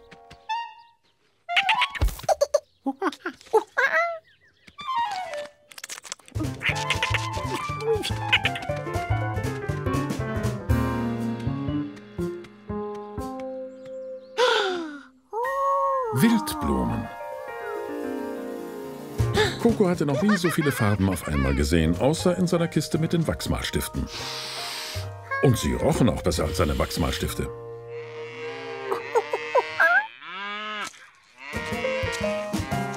Coco wollte seine Entdeckung unbedingt allen zeigen. Alle sollten an den duftenden Blumen riechen.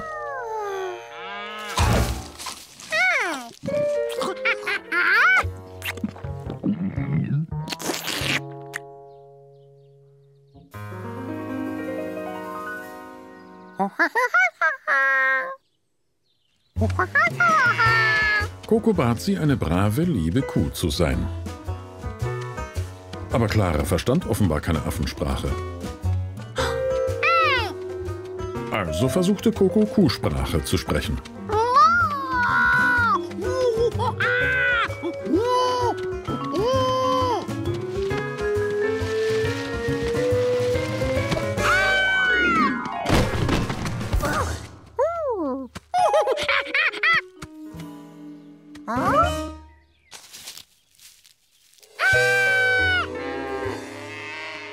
Da kamen noch mehr Kühe.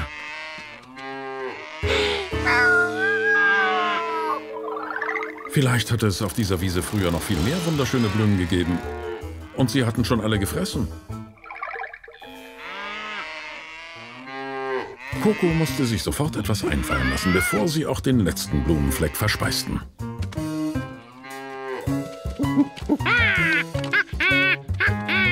Aber unglücklicherweise verstanden die Kühe auch keine Richtungspfeile. Er versuchte sie mit Apfeljonglieren abzulenken, aber die Kühe fraßen alle Äpfel auf. Also lieh er sich eine alte Vogelscheuche und verwandelte sie in eine gruselige Kuhscheuche.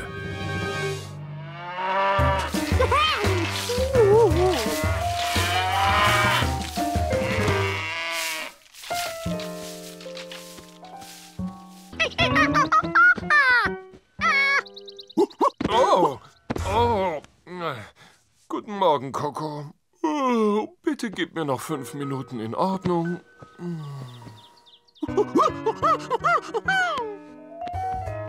Oh!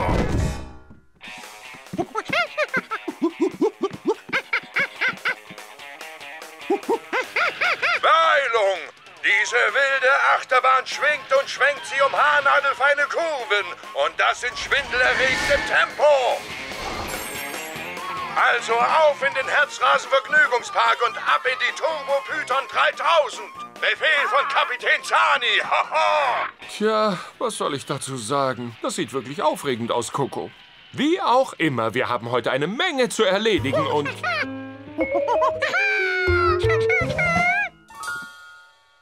Ich ziehe mich gleich an, damit wir einen spaßigen Tag im Herzrasen-Vergnügungspark verbringen können auf der Turbo Python 3000.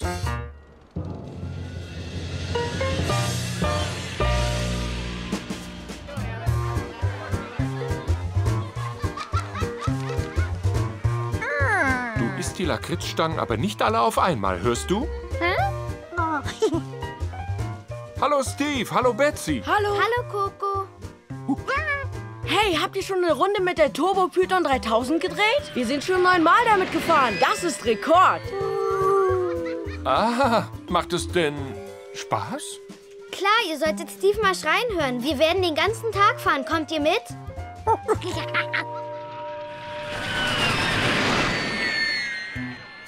Alle waren begeistert davon, mit der Turbo Python 3000 zu fahren.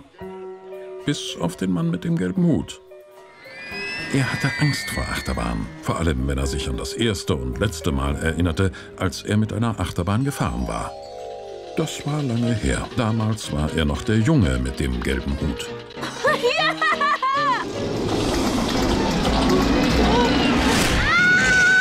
Und seit diesem Tag hatte er Angst vor Achterbahnen.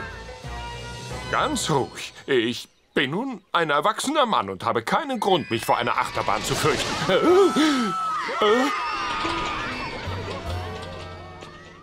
Also, äh, viel Spaß, Coco. Ich äh, muss unbedingt was trinken.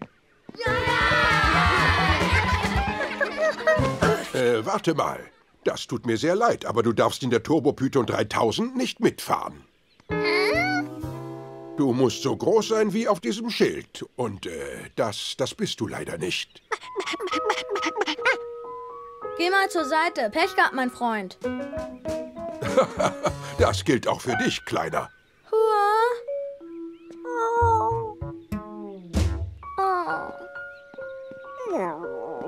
Bist du sauer, wenn wir ohne dich fahren? Äh, ja.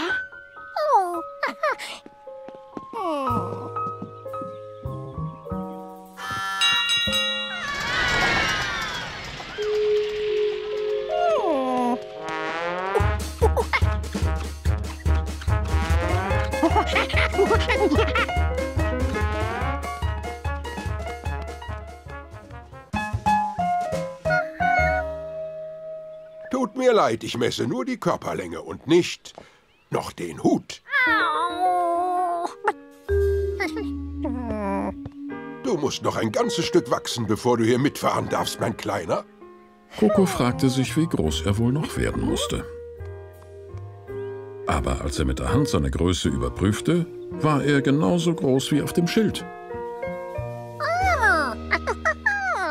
Du hast nicht richtig gemessen. Ich wünschte, ich hätte ein Lineal oder sowas. Mal sehen. Eins, zwei, drei, vier, fünf. Das Schild ist fünf Lakritzstangen hoch und du bist nur... Eins, zwei, drei, vier Lakritzstangen hoch. Du kannst wieder herkommen, wenn du eine Lakritzstange gewachsen bist und bis dahin viel Spaß mit den anderen Attraktionen im Park.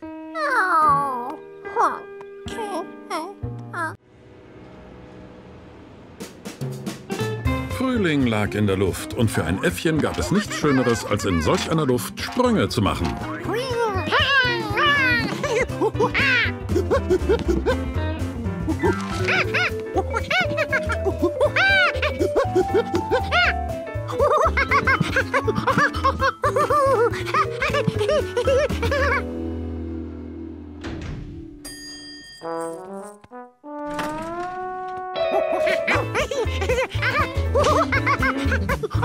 Wenn Coco in die Eingangshalle stürmte, musste Hector immer ein scharfes Auge auf ihn haben, um die Ordnung zu wahren.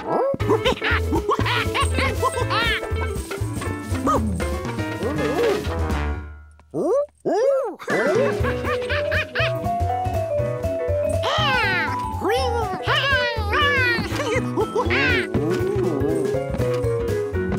wir, Coco. Ich wünschte, ich hätte deinen Schwung, Coco.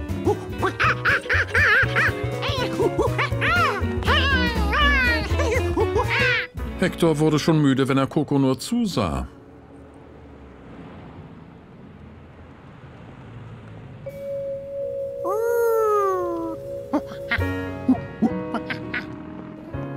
Hallo, Frau Professor Weisheit. Na, was hast du denn da, Coco? Etwa deinen Lieblingsdinosaurier?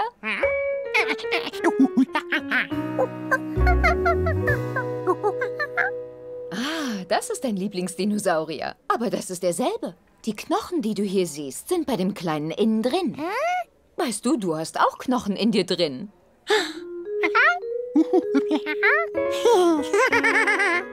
Gib mal deinen Arm. Das Harte unter der Haut ist ein Knochen. Er gehört zu deinem Skelett.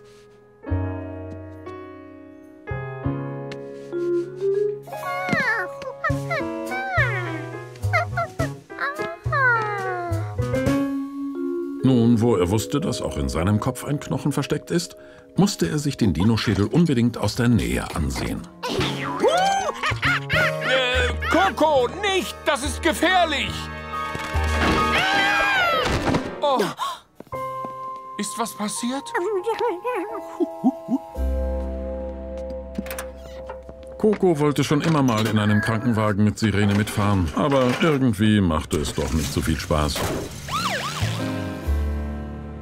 Im Krankenhaus beschloss der Arzt von Cocos Bein ein Röntgenbild zu machen.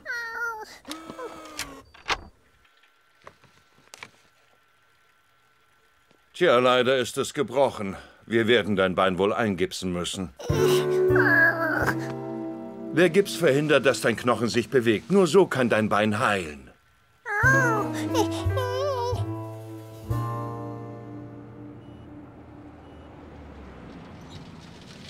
Hey, das sieht nach Coco hm? aus. Hector wusste, was zu tun war, wenn er diesen Namen hörte. Er hielt sich bereit, um Unordnung und Chaos in seiner Eingangshalle zu verhindern. Der arme kleine Kerl. Ist es sehr schlimm? Naja, es könnte schlimmer sein, aber er muss sich in den nächsten Tagen in Acht nehmen. Kein wildes Herumgespringe, kein Lärm. Hector war sich gar nicht sicher, ob das wirklich Coco war.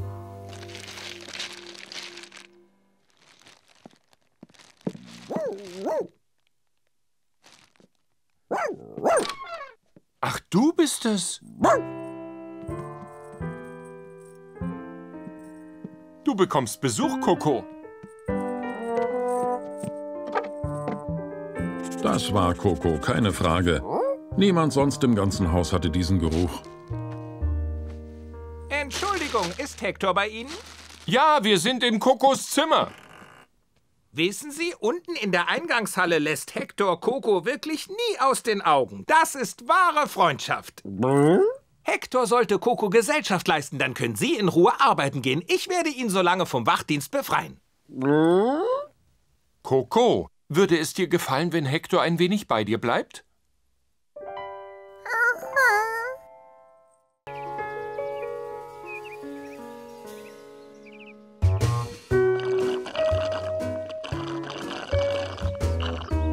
Coco fand, dass das Haus auf dem Land ein wunderbares kleines Plätzchen war.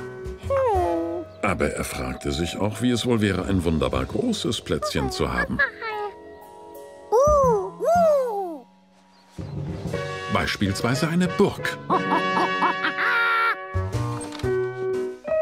Coco, sieh mal, was ich gefunden habe. Mein altes Fotoalbum.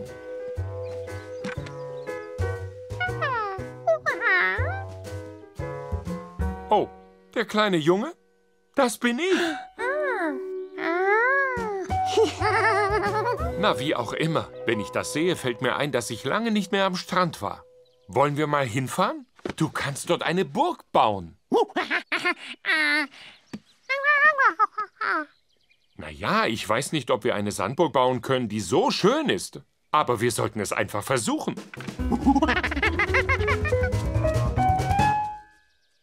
ähm, Coco?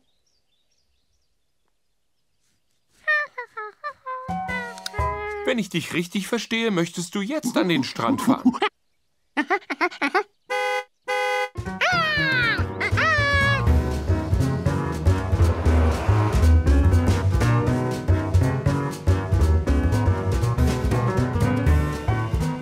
Den ganzen Weg über tüftelte Coco an seinen Bauplänen für die Burg.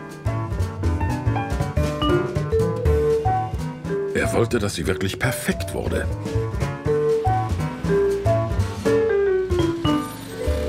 Coco, wir sind da.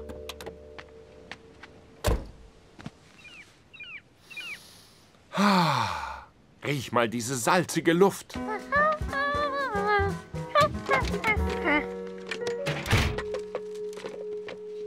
Coco?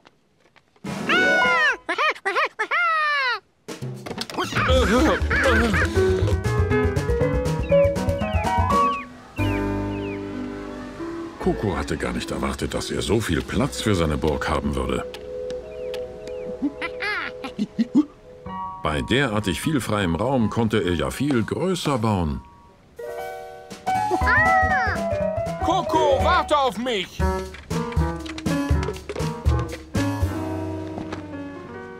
Hast du schon irgendeine Idee für deine Sandburg?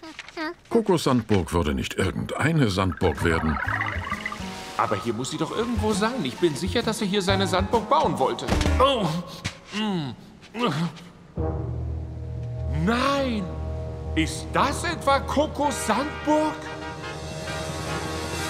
Hallo? Ist irgendjemand zu Hause?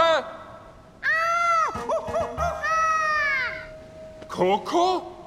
Ich bin's!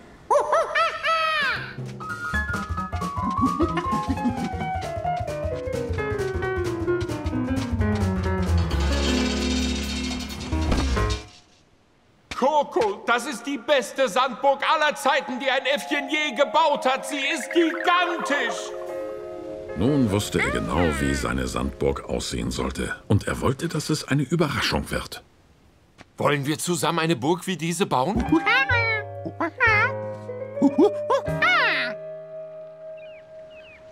Ah, verstehe. Du baust deine Burg hier und ich soll irgendwo da drüben hingehen. Und dann überraschen wir uns gegenseitig. Ist das deine Idee? Ich finde, das hört sich spaßig an. Ich bin wirklich gespannt, Coco.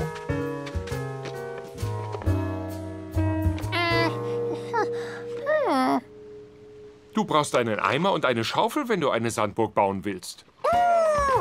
Coco hatte gedacht, er müsste alles mit bloßen Händen bauen. Es würde also noch leichter werden, als er erwartet hatte. Ich kann dir ein paar gute Tipps geben. Okay, ich bin dann hinter der nächsten Düne, sodass du nicht sehen kannst, was ich baue.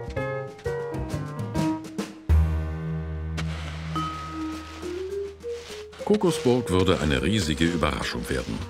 Und zwar wirklich riesig.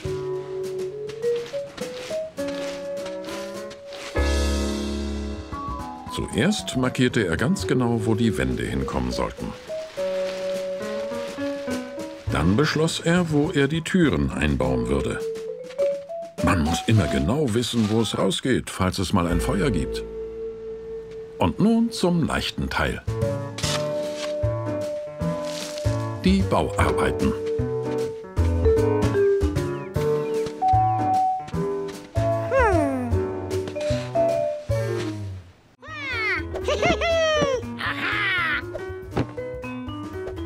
Coco war dabei, ein wichtiges Experiment durchzuführen. Er testete die Wohnzimmermöbel auf ihre Sprungeigenschaften. Dieser Teil der Couch machte ein ganz anderes Geräusch. Aber es war gar nicht die Couch. Es hörte sich nach etwas Großem an. Und nach etwas Schwerem. Und es kam von dort oben.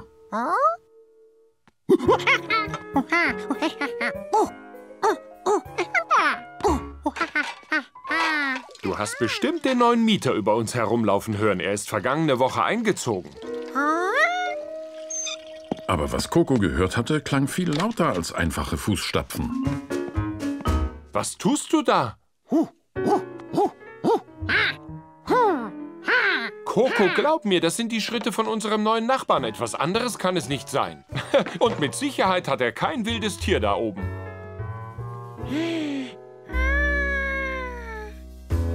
Der Mann mit dem gelben Hut wohnte doch mit Coco zusammen. Also warum sollte der neue Mieter nicht auch ein Tier bei sich haben? Aber was für ein Tier?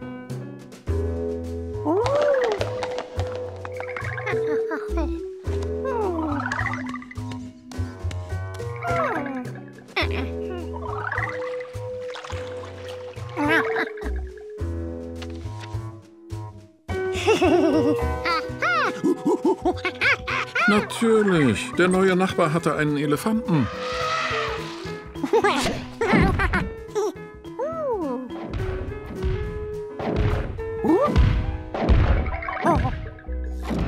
Das musste er sofort dem Mann mit dem gelben Hut sagen.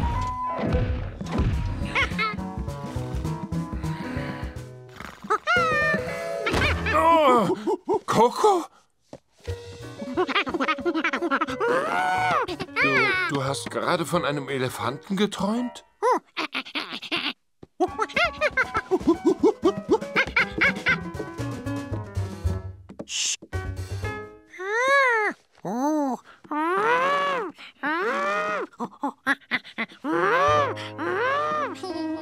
Oh, ähm, am besten du siehst dir keine Naturbücher mehr vor dem Schlafengehen an. Du bekommst davon nur seltsame Träume.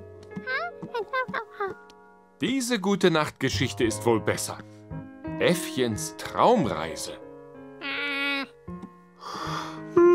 Gute Nacht.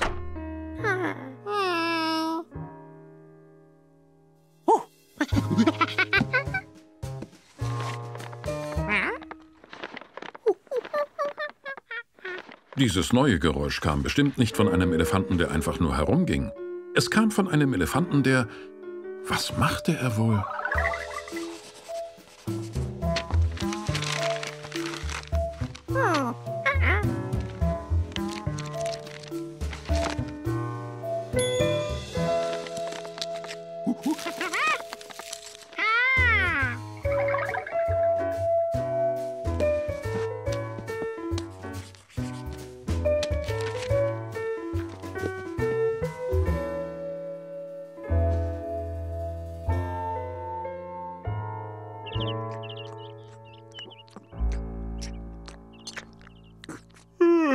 Habe letzte Nacht wirklich kein Auge zugetan.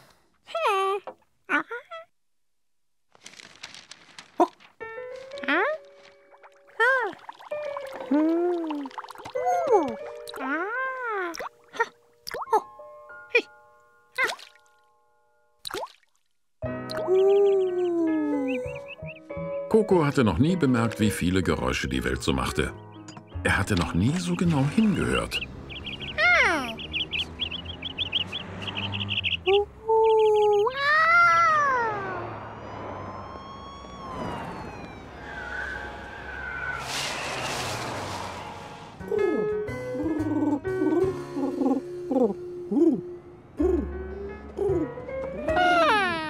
Der Balkon von der Wohnung über ihnen, wo der Nachbar wohnte. Mit seinem Elefanten.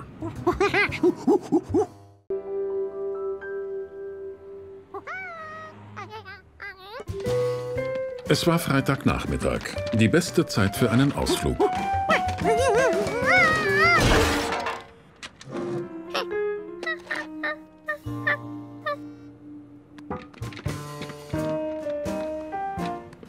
Flaschen und Zeitungen kamen in den Keller.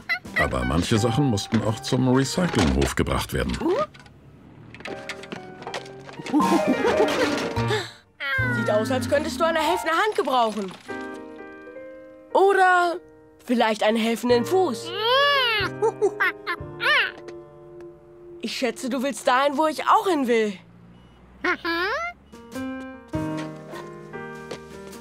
Muss ein Päckchen für Betsy abholen und der Recyclinghof ist direkt nebenan. Wir packen einfach alles in den Wagen.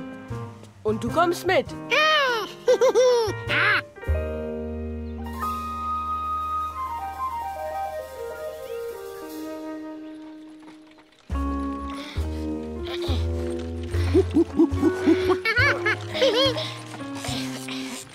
Vielleicht wird es auf jeden Fall leichter, wenn ich mit dir den Berg runterrolle.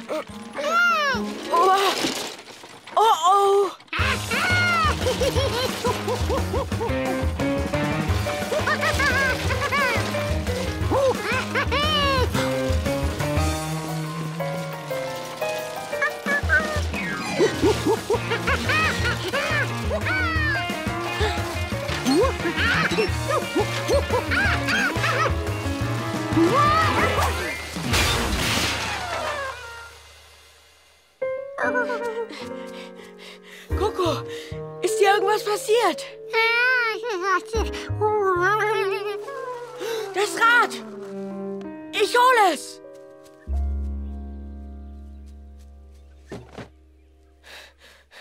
Junge, das ist ja ein schönes Stück gerollt. Ich wette, man könnte es von einer Seite des Parks bis zur anderen Seite rollen lassen, wenn man wollte. Man würde vielleicht sogar irgendeinen Radkullerrekord damit aufstellen. Hey, was meinst du? Wollen wir es probieren?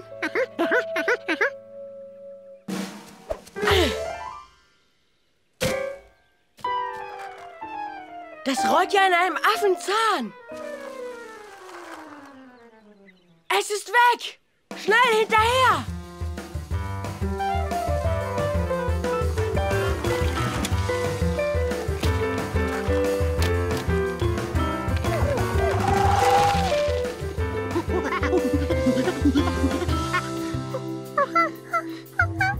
Du gehst dort lang. Das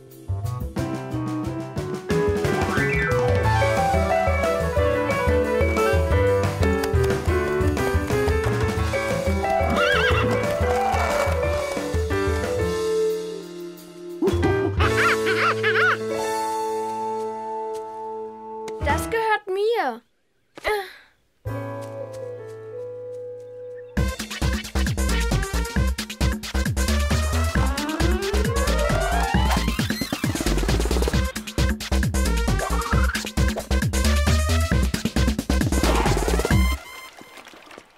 Ah, Wo kann es nur hin sein?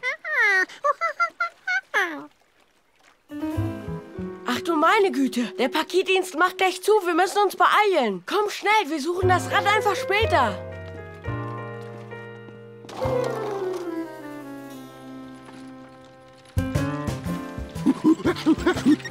Treten.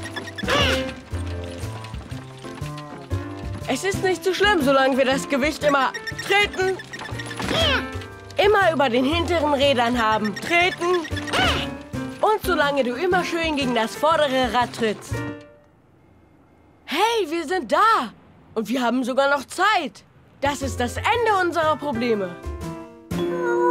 Ah, da haben wir ein neues Problem.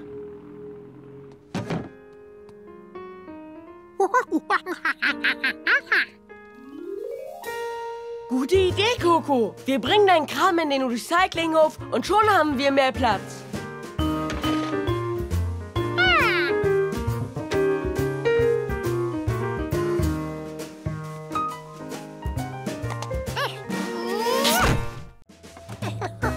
Den ganzen Winter über hatte Coco mit Appetitus mobile gespielt. Aber als der Winter vorüber war, Der Frühling ist da, Coco. Es wird Zeit, das wieder abzunehmen.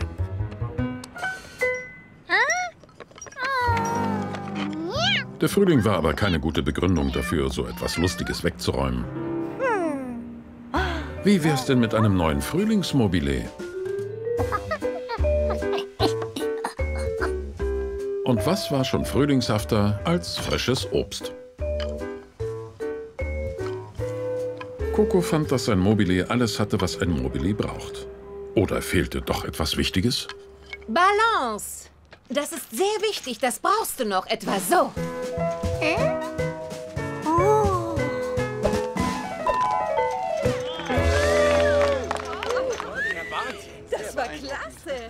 Für unsere nächste Vorführung des perfekten Gleichgewichts brauchen wir einen Freiwilligen aus dem Publikum. Spar dir den Auftritt für die Show, Claire. Sie will nur sagen, dass wir das hinkriegen.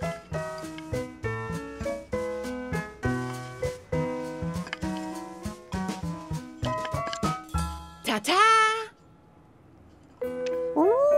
Coco fragte sich, wer diese unglaublichen Obstgleichgewichtsexperten waren. Zucchinis!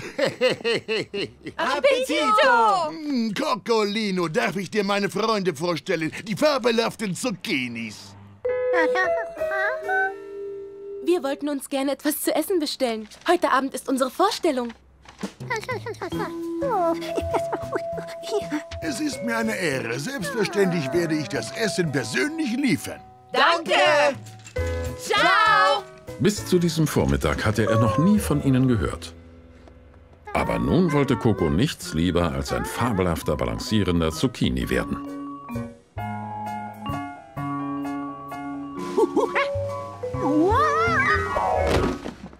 Noki, die Katze, verstand nicht, was am Balancieren so schwer sein sollte. Aber Coco musste unbedingt sehen, wie die Zucchinis das machten.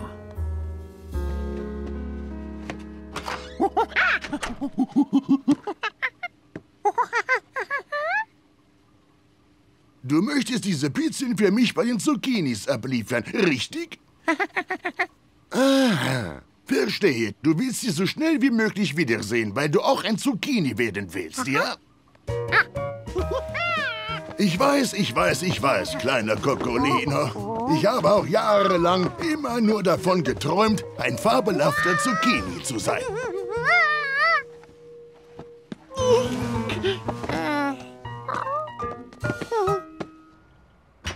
Nun geh und folge deinem Traum, Coco. Aber beeil dich bitte, bevor die Pizza kalt wird. Steve, komm schon. Hilf mir. Lass mich nicht zappeln. Ach, gib es auf, Betsy. Du bist viel zu klein, um deinen großen Bruder in Schwung zu bringen.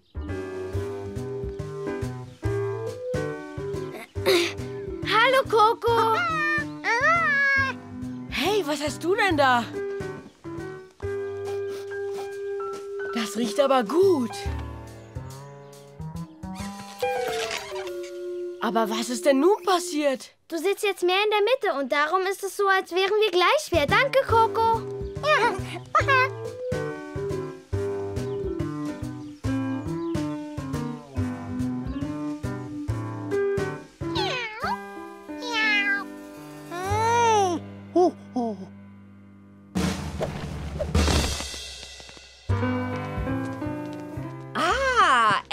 Essen. Leckeres Essen. Ist die Grundlage für unsere künstlerischen Inspirationen.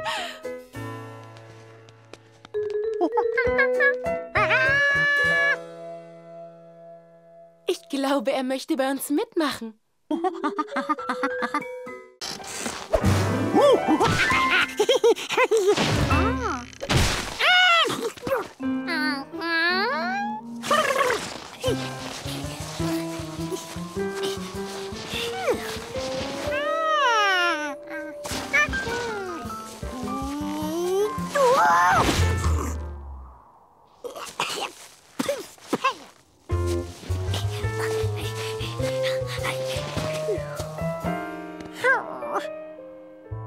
Aber der herrliche, frische weiße Schnee um ihn herum war viel zu tief für Coco.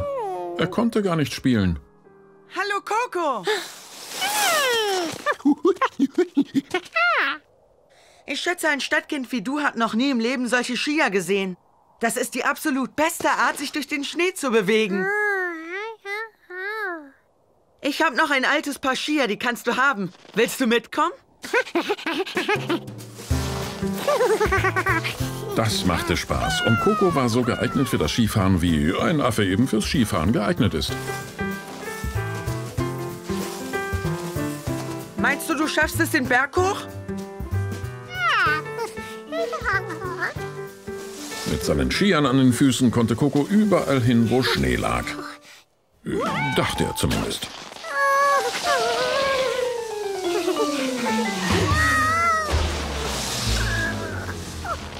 Du kannst einen steilen Hügel wie den nicht einfach geradeaus hochgehen. Du musst im Zickzack laufen. Hast du gut aufgepasst, Coco? Wenn du die Skier quer setzt, dann kannst du den Berg nicht wieder runterrutschen. Ja, das ist es.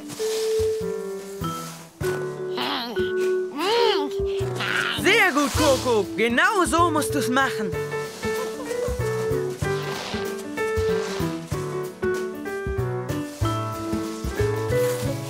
Coco hatte hier oben einen herrlichen Ausblick. Er konnte all die Bauernhöfe und Häuser sehen.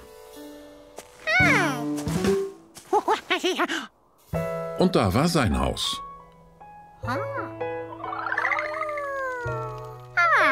Und da fiel ihm ein, dass er lieber schnell nach Hause gehen sollte, denn sein Freund kochte den letzten Rest Kakao. Und keiner kann zwei Tassen heißen Kakao einfach stehen lassen. Auch nicht der Mann mit dem gelben Hut. Ich frag mich, was das für ein Geräusch ist. Der Sache muss ich kurz nachgehen. Du wartest hier so lange.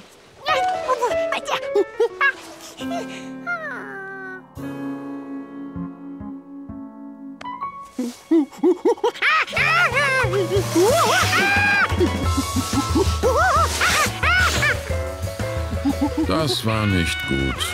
Nun war er noch weiter weg von zu Hause.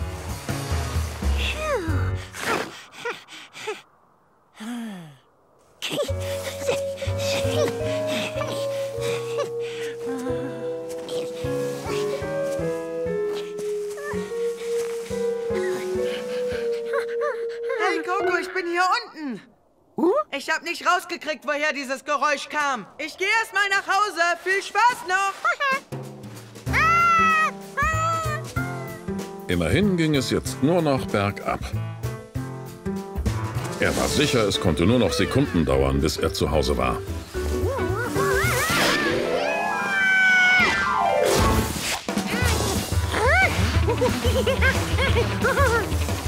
Es musste ihm doch gelingen, an den Ski ranzukommen.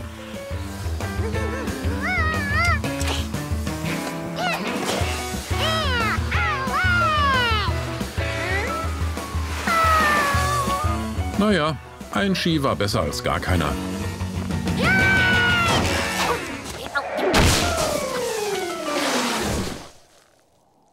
Das war ganz große Klasse.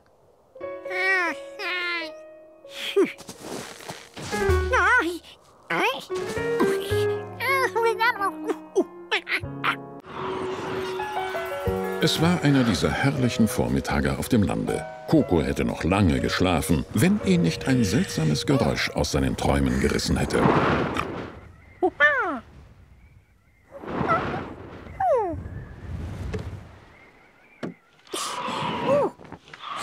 An einem stürmischen Tag klingen die offenen Fenster eines Hauses fast wie Musik. Dem Lied des Windes zuzuhören war schön, aber viel schöner war es, ihn sich ins Gesicht blasen zu lassen. Und wie gut das roch.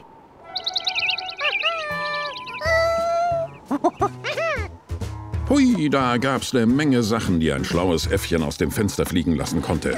Die dicken Wintersocken, einen Vogel, den er gemalt hatte,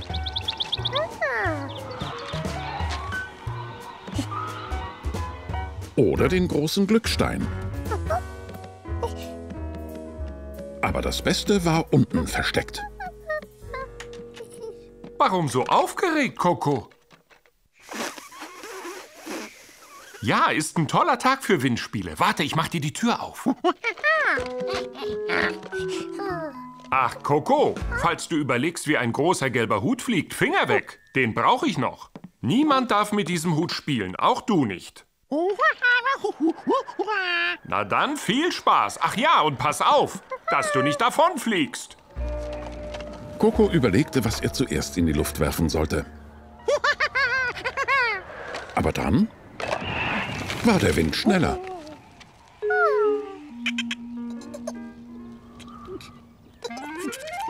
Hopsi, das Eichhörnchen, tummelt sich den lieben langen Tag oben in den Bäumen herum.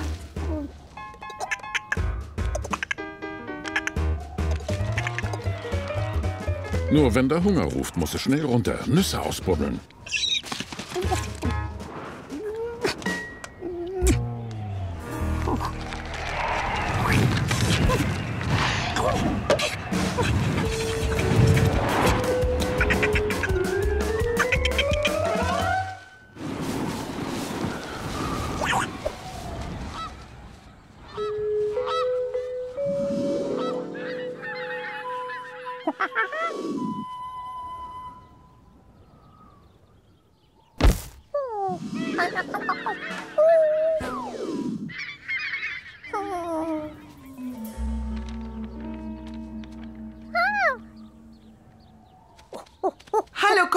Perfektes Wetter zum Drachensteigen lassen. Hey, lenk mich nicht ab, sonst verliere ich noch die Kontrolle. Und Kontrolle ist alles beim Drachensteigen. Los, du da oben, zeig mal, was du kannst.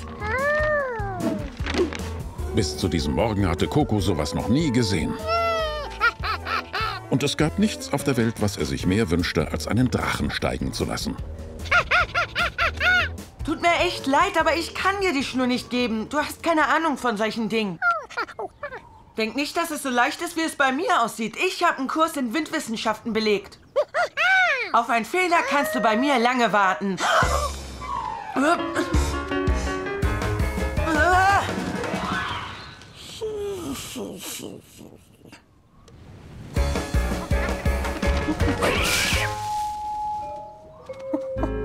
Na prima, den kriegen wir garantiert nicht mehr runter.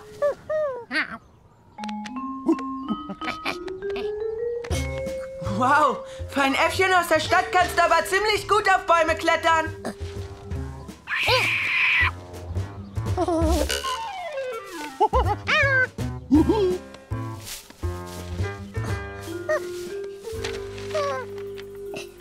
Der hat ja nicht mal einen Kratzer. Danke, Coco. Zur Belohnung darfst du ihn fliegen lassen. Das willst du doch, richtig?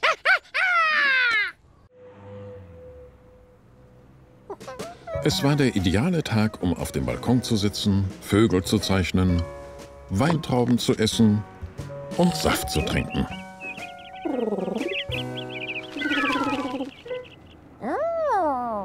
Coco hatte schon viele Vögel gesehen, aber noch keinen, der einen Ring um den Fuß trug. Auch der Vogel hatte schon viele Tiere gesehen, aber noch keins, das malen konnte. Eins stand fest. Er würde erst weiterfliegen, wenn er wusste, wer da vor ihm saß.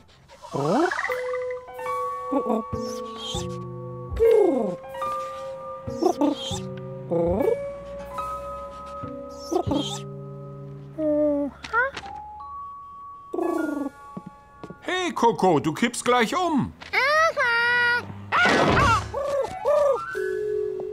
Das Leben eines Künstlers ist voller harter Schläge.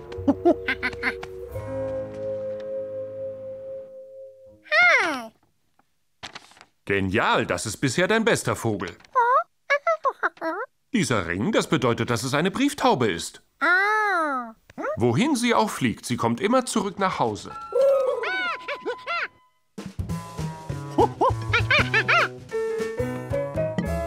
Augenblick mal, Coco. Sie ist zwar wieder da, aber hier ist nicht ihr Zuhause. Brieftauben haben ihr eigenes Dach überm Kopf. Ah, da kommt ja unsere Pizza. Hände waschen.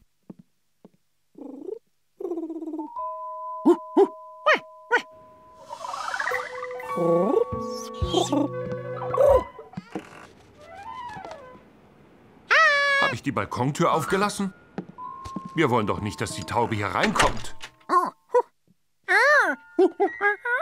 Hast du dir die Hände gewaschen?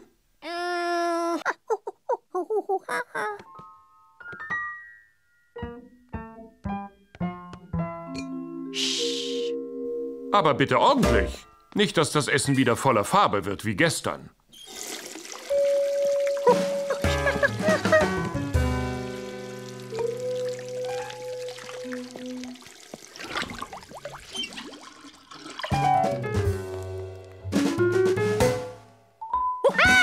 Coco?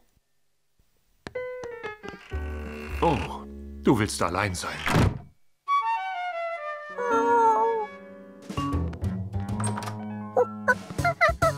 Jetzt fehlt nur noch das Pizzamesser zu unserem Glück.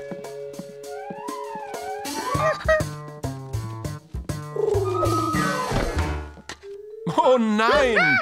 Das schöne Täubchen hat es doch geschafft. Okay, du machst die Tür auf und ich fange es.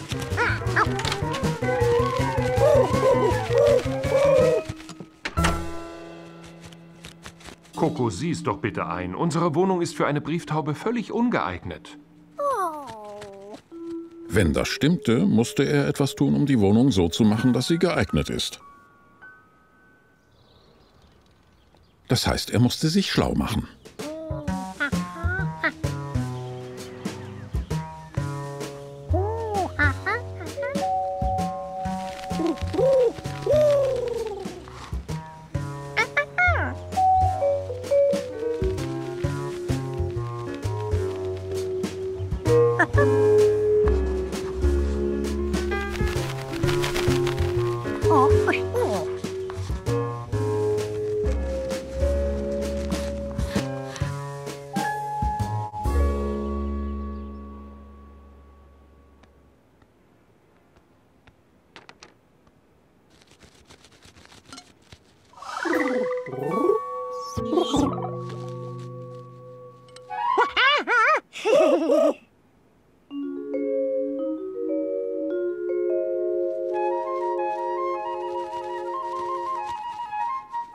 Taube traf ihre Wahl. Coco ist immer ein braver kleiner Affe, wenn er schläft.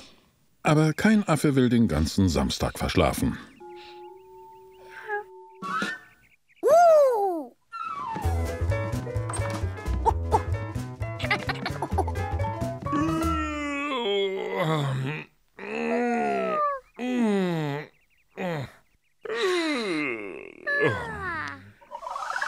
Und schon gar nicht einen Samstag, an dem man Lust auf etwas Besonderes hat. Weißt du, was den heutigen Tag perfekt machen würde? Donuts! Hey, warte! Ich stehe hier noch im Schlafanzug. So kann ich doch nicht auf die Straße gehen. Ja, ich beeil mich ja schon, Coco. Du weißt nicht, was wirkliche Ungeduld ist, bevor du nicht ein Affe warst, der auf Donuts wartet. Wie wär's mit Eiern und danach Donuts? Hey, zähl mal die Eier und schreib auf, wie viele wir haben.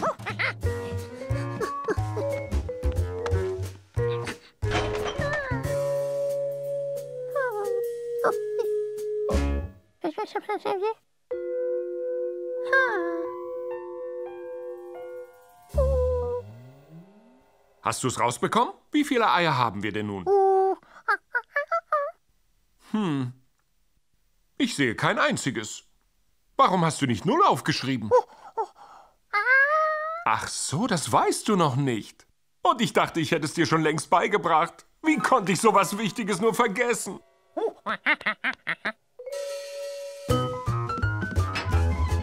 Hey, warte, mein Freund, das holen wir jetzt nach. Komm. Sieh mal. Eine Null allein bedeutet keine Eier. Kein einziges. Aber eine Null zusammen mit anderen Zahlen bedeutet viel mehr. Eine Null hinter der Eins, das ist eine Zehn. Noch eine Null mehr, dann hast du schon ein Hundert. Das heißt tausend. Zehntausend? Na wunderbar, das klappt ja besser, als ich dachte. Äh, warte!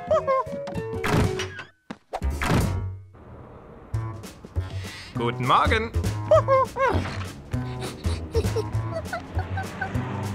Ich hol nur schnell die Eier und du besorgst die Donuts, okay? Und zwar bringst du bitte ein Dutzend, nicht mehr und nicht weniger. Wir treffen uns zu Hause. Sei brav und mach keine Dummheiten.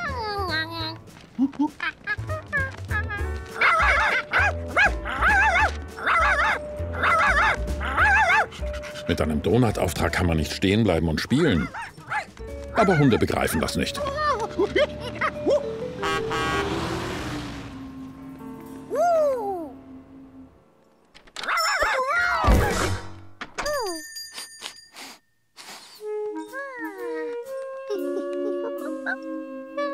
Coco war richtig hungrig. Aber auf seinem Zettel stand nur eine traurige Eins. Da erinnerte er sich daran, was der Mann mit dem gelben Hut über Nullen erklärt hatte.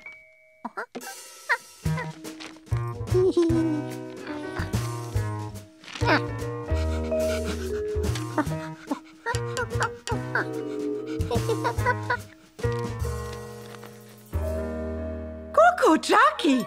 Schön, euch zu sehen. Das ist sicher eine Bestellung für deinen Freund, den Mann mit dem gelben Hut. 100 Dutzend? Oh, unser größter Auftrag aller Zeiten. 100 mal 12 Donuts, die machen wohl eine Party.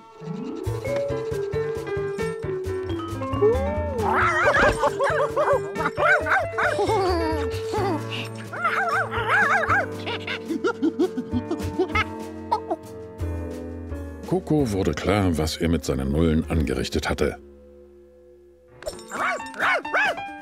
Aber wie konnte er das einem Hund erklären?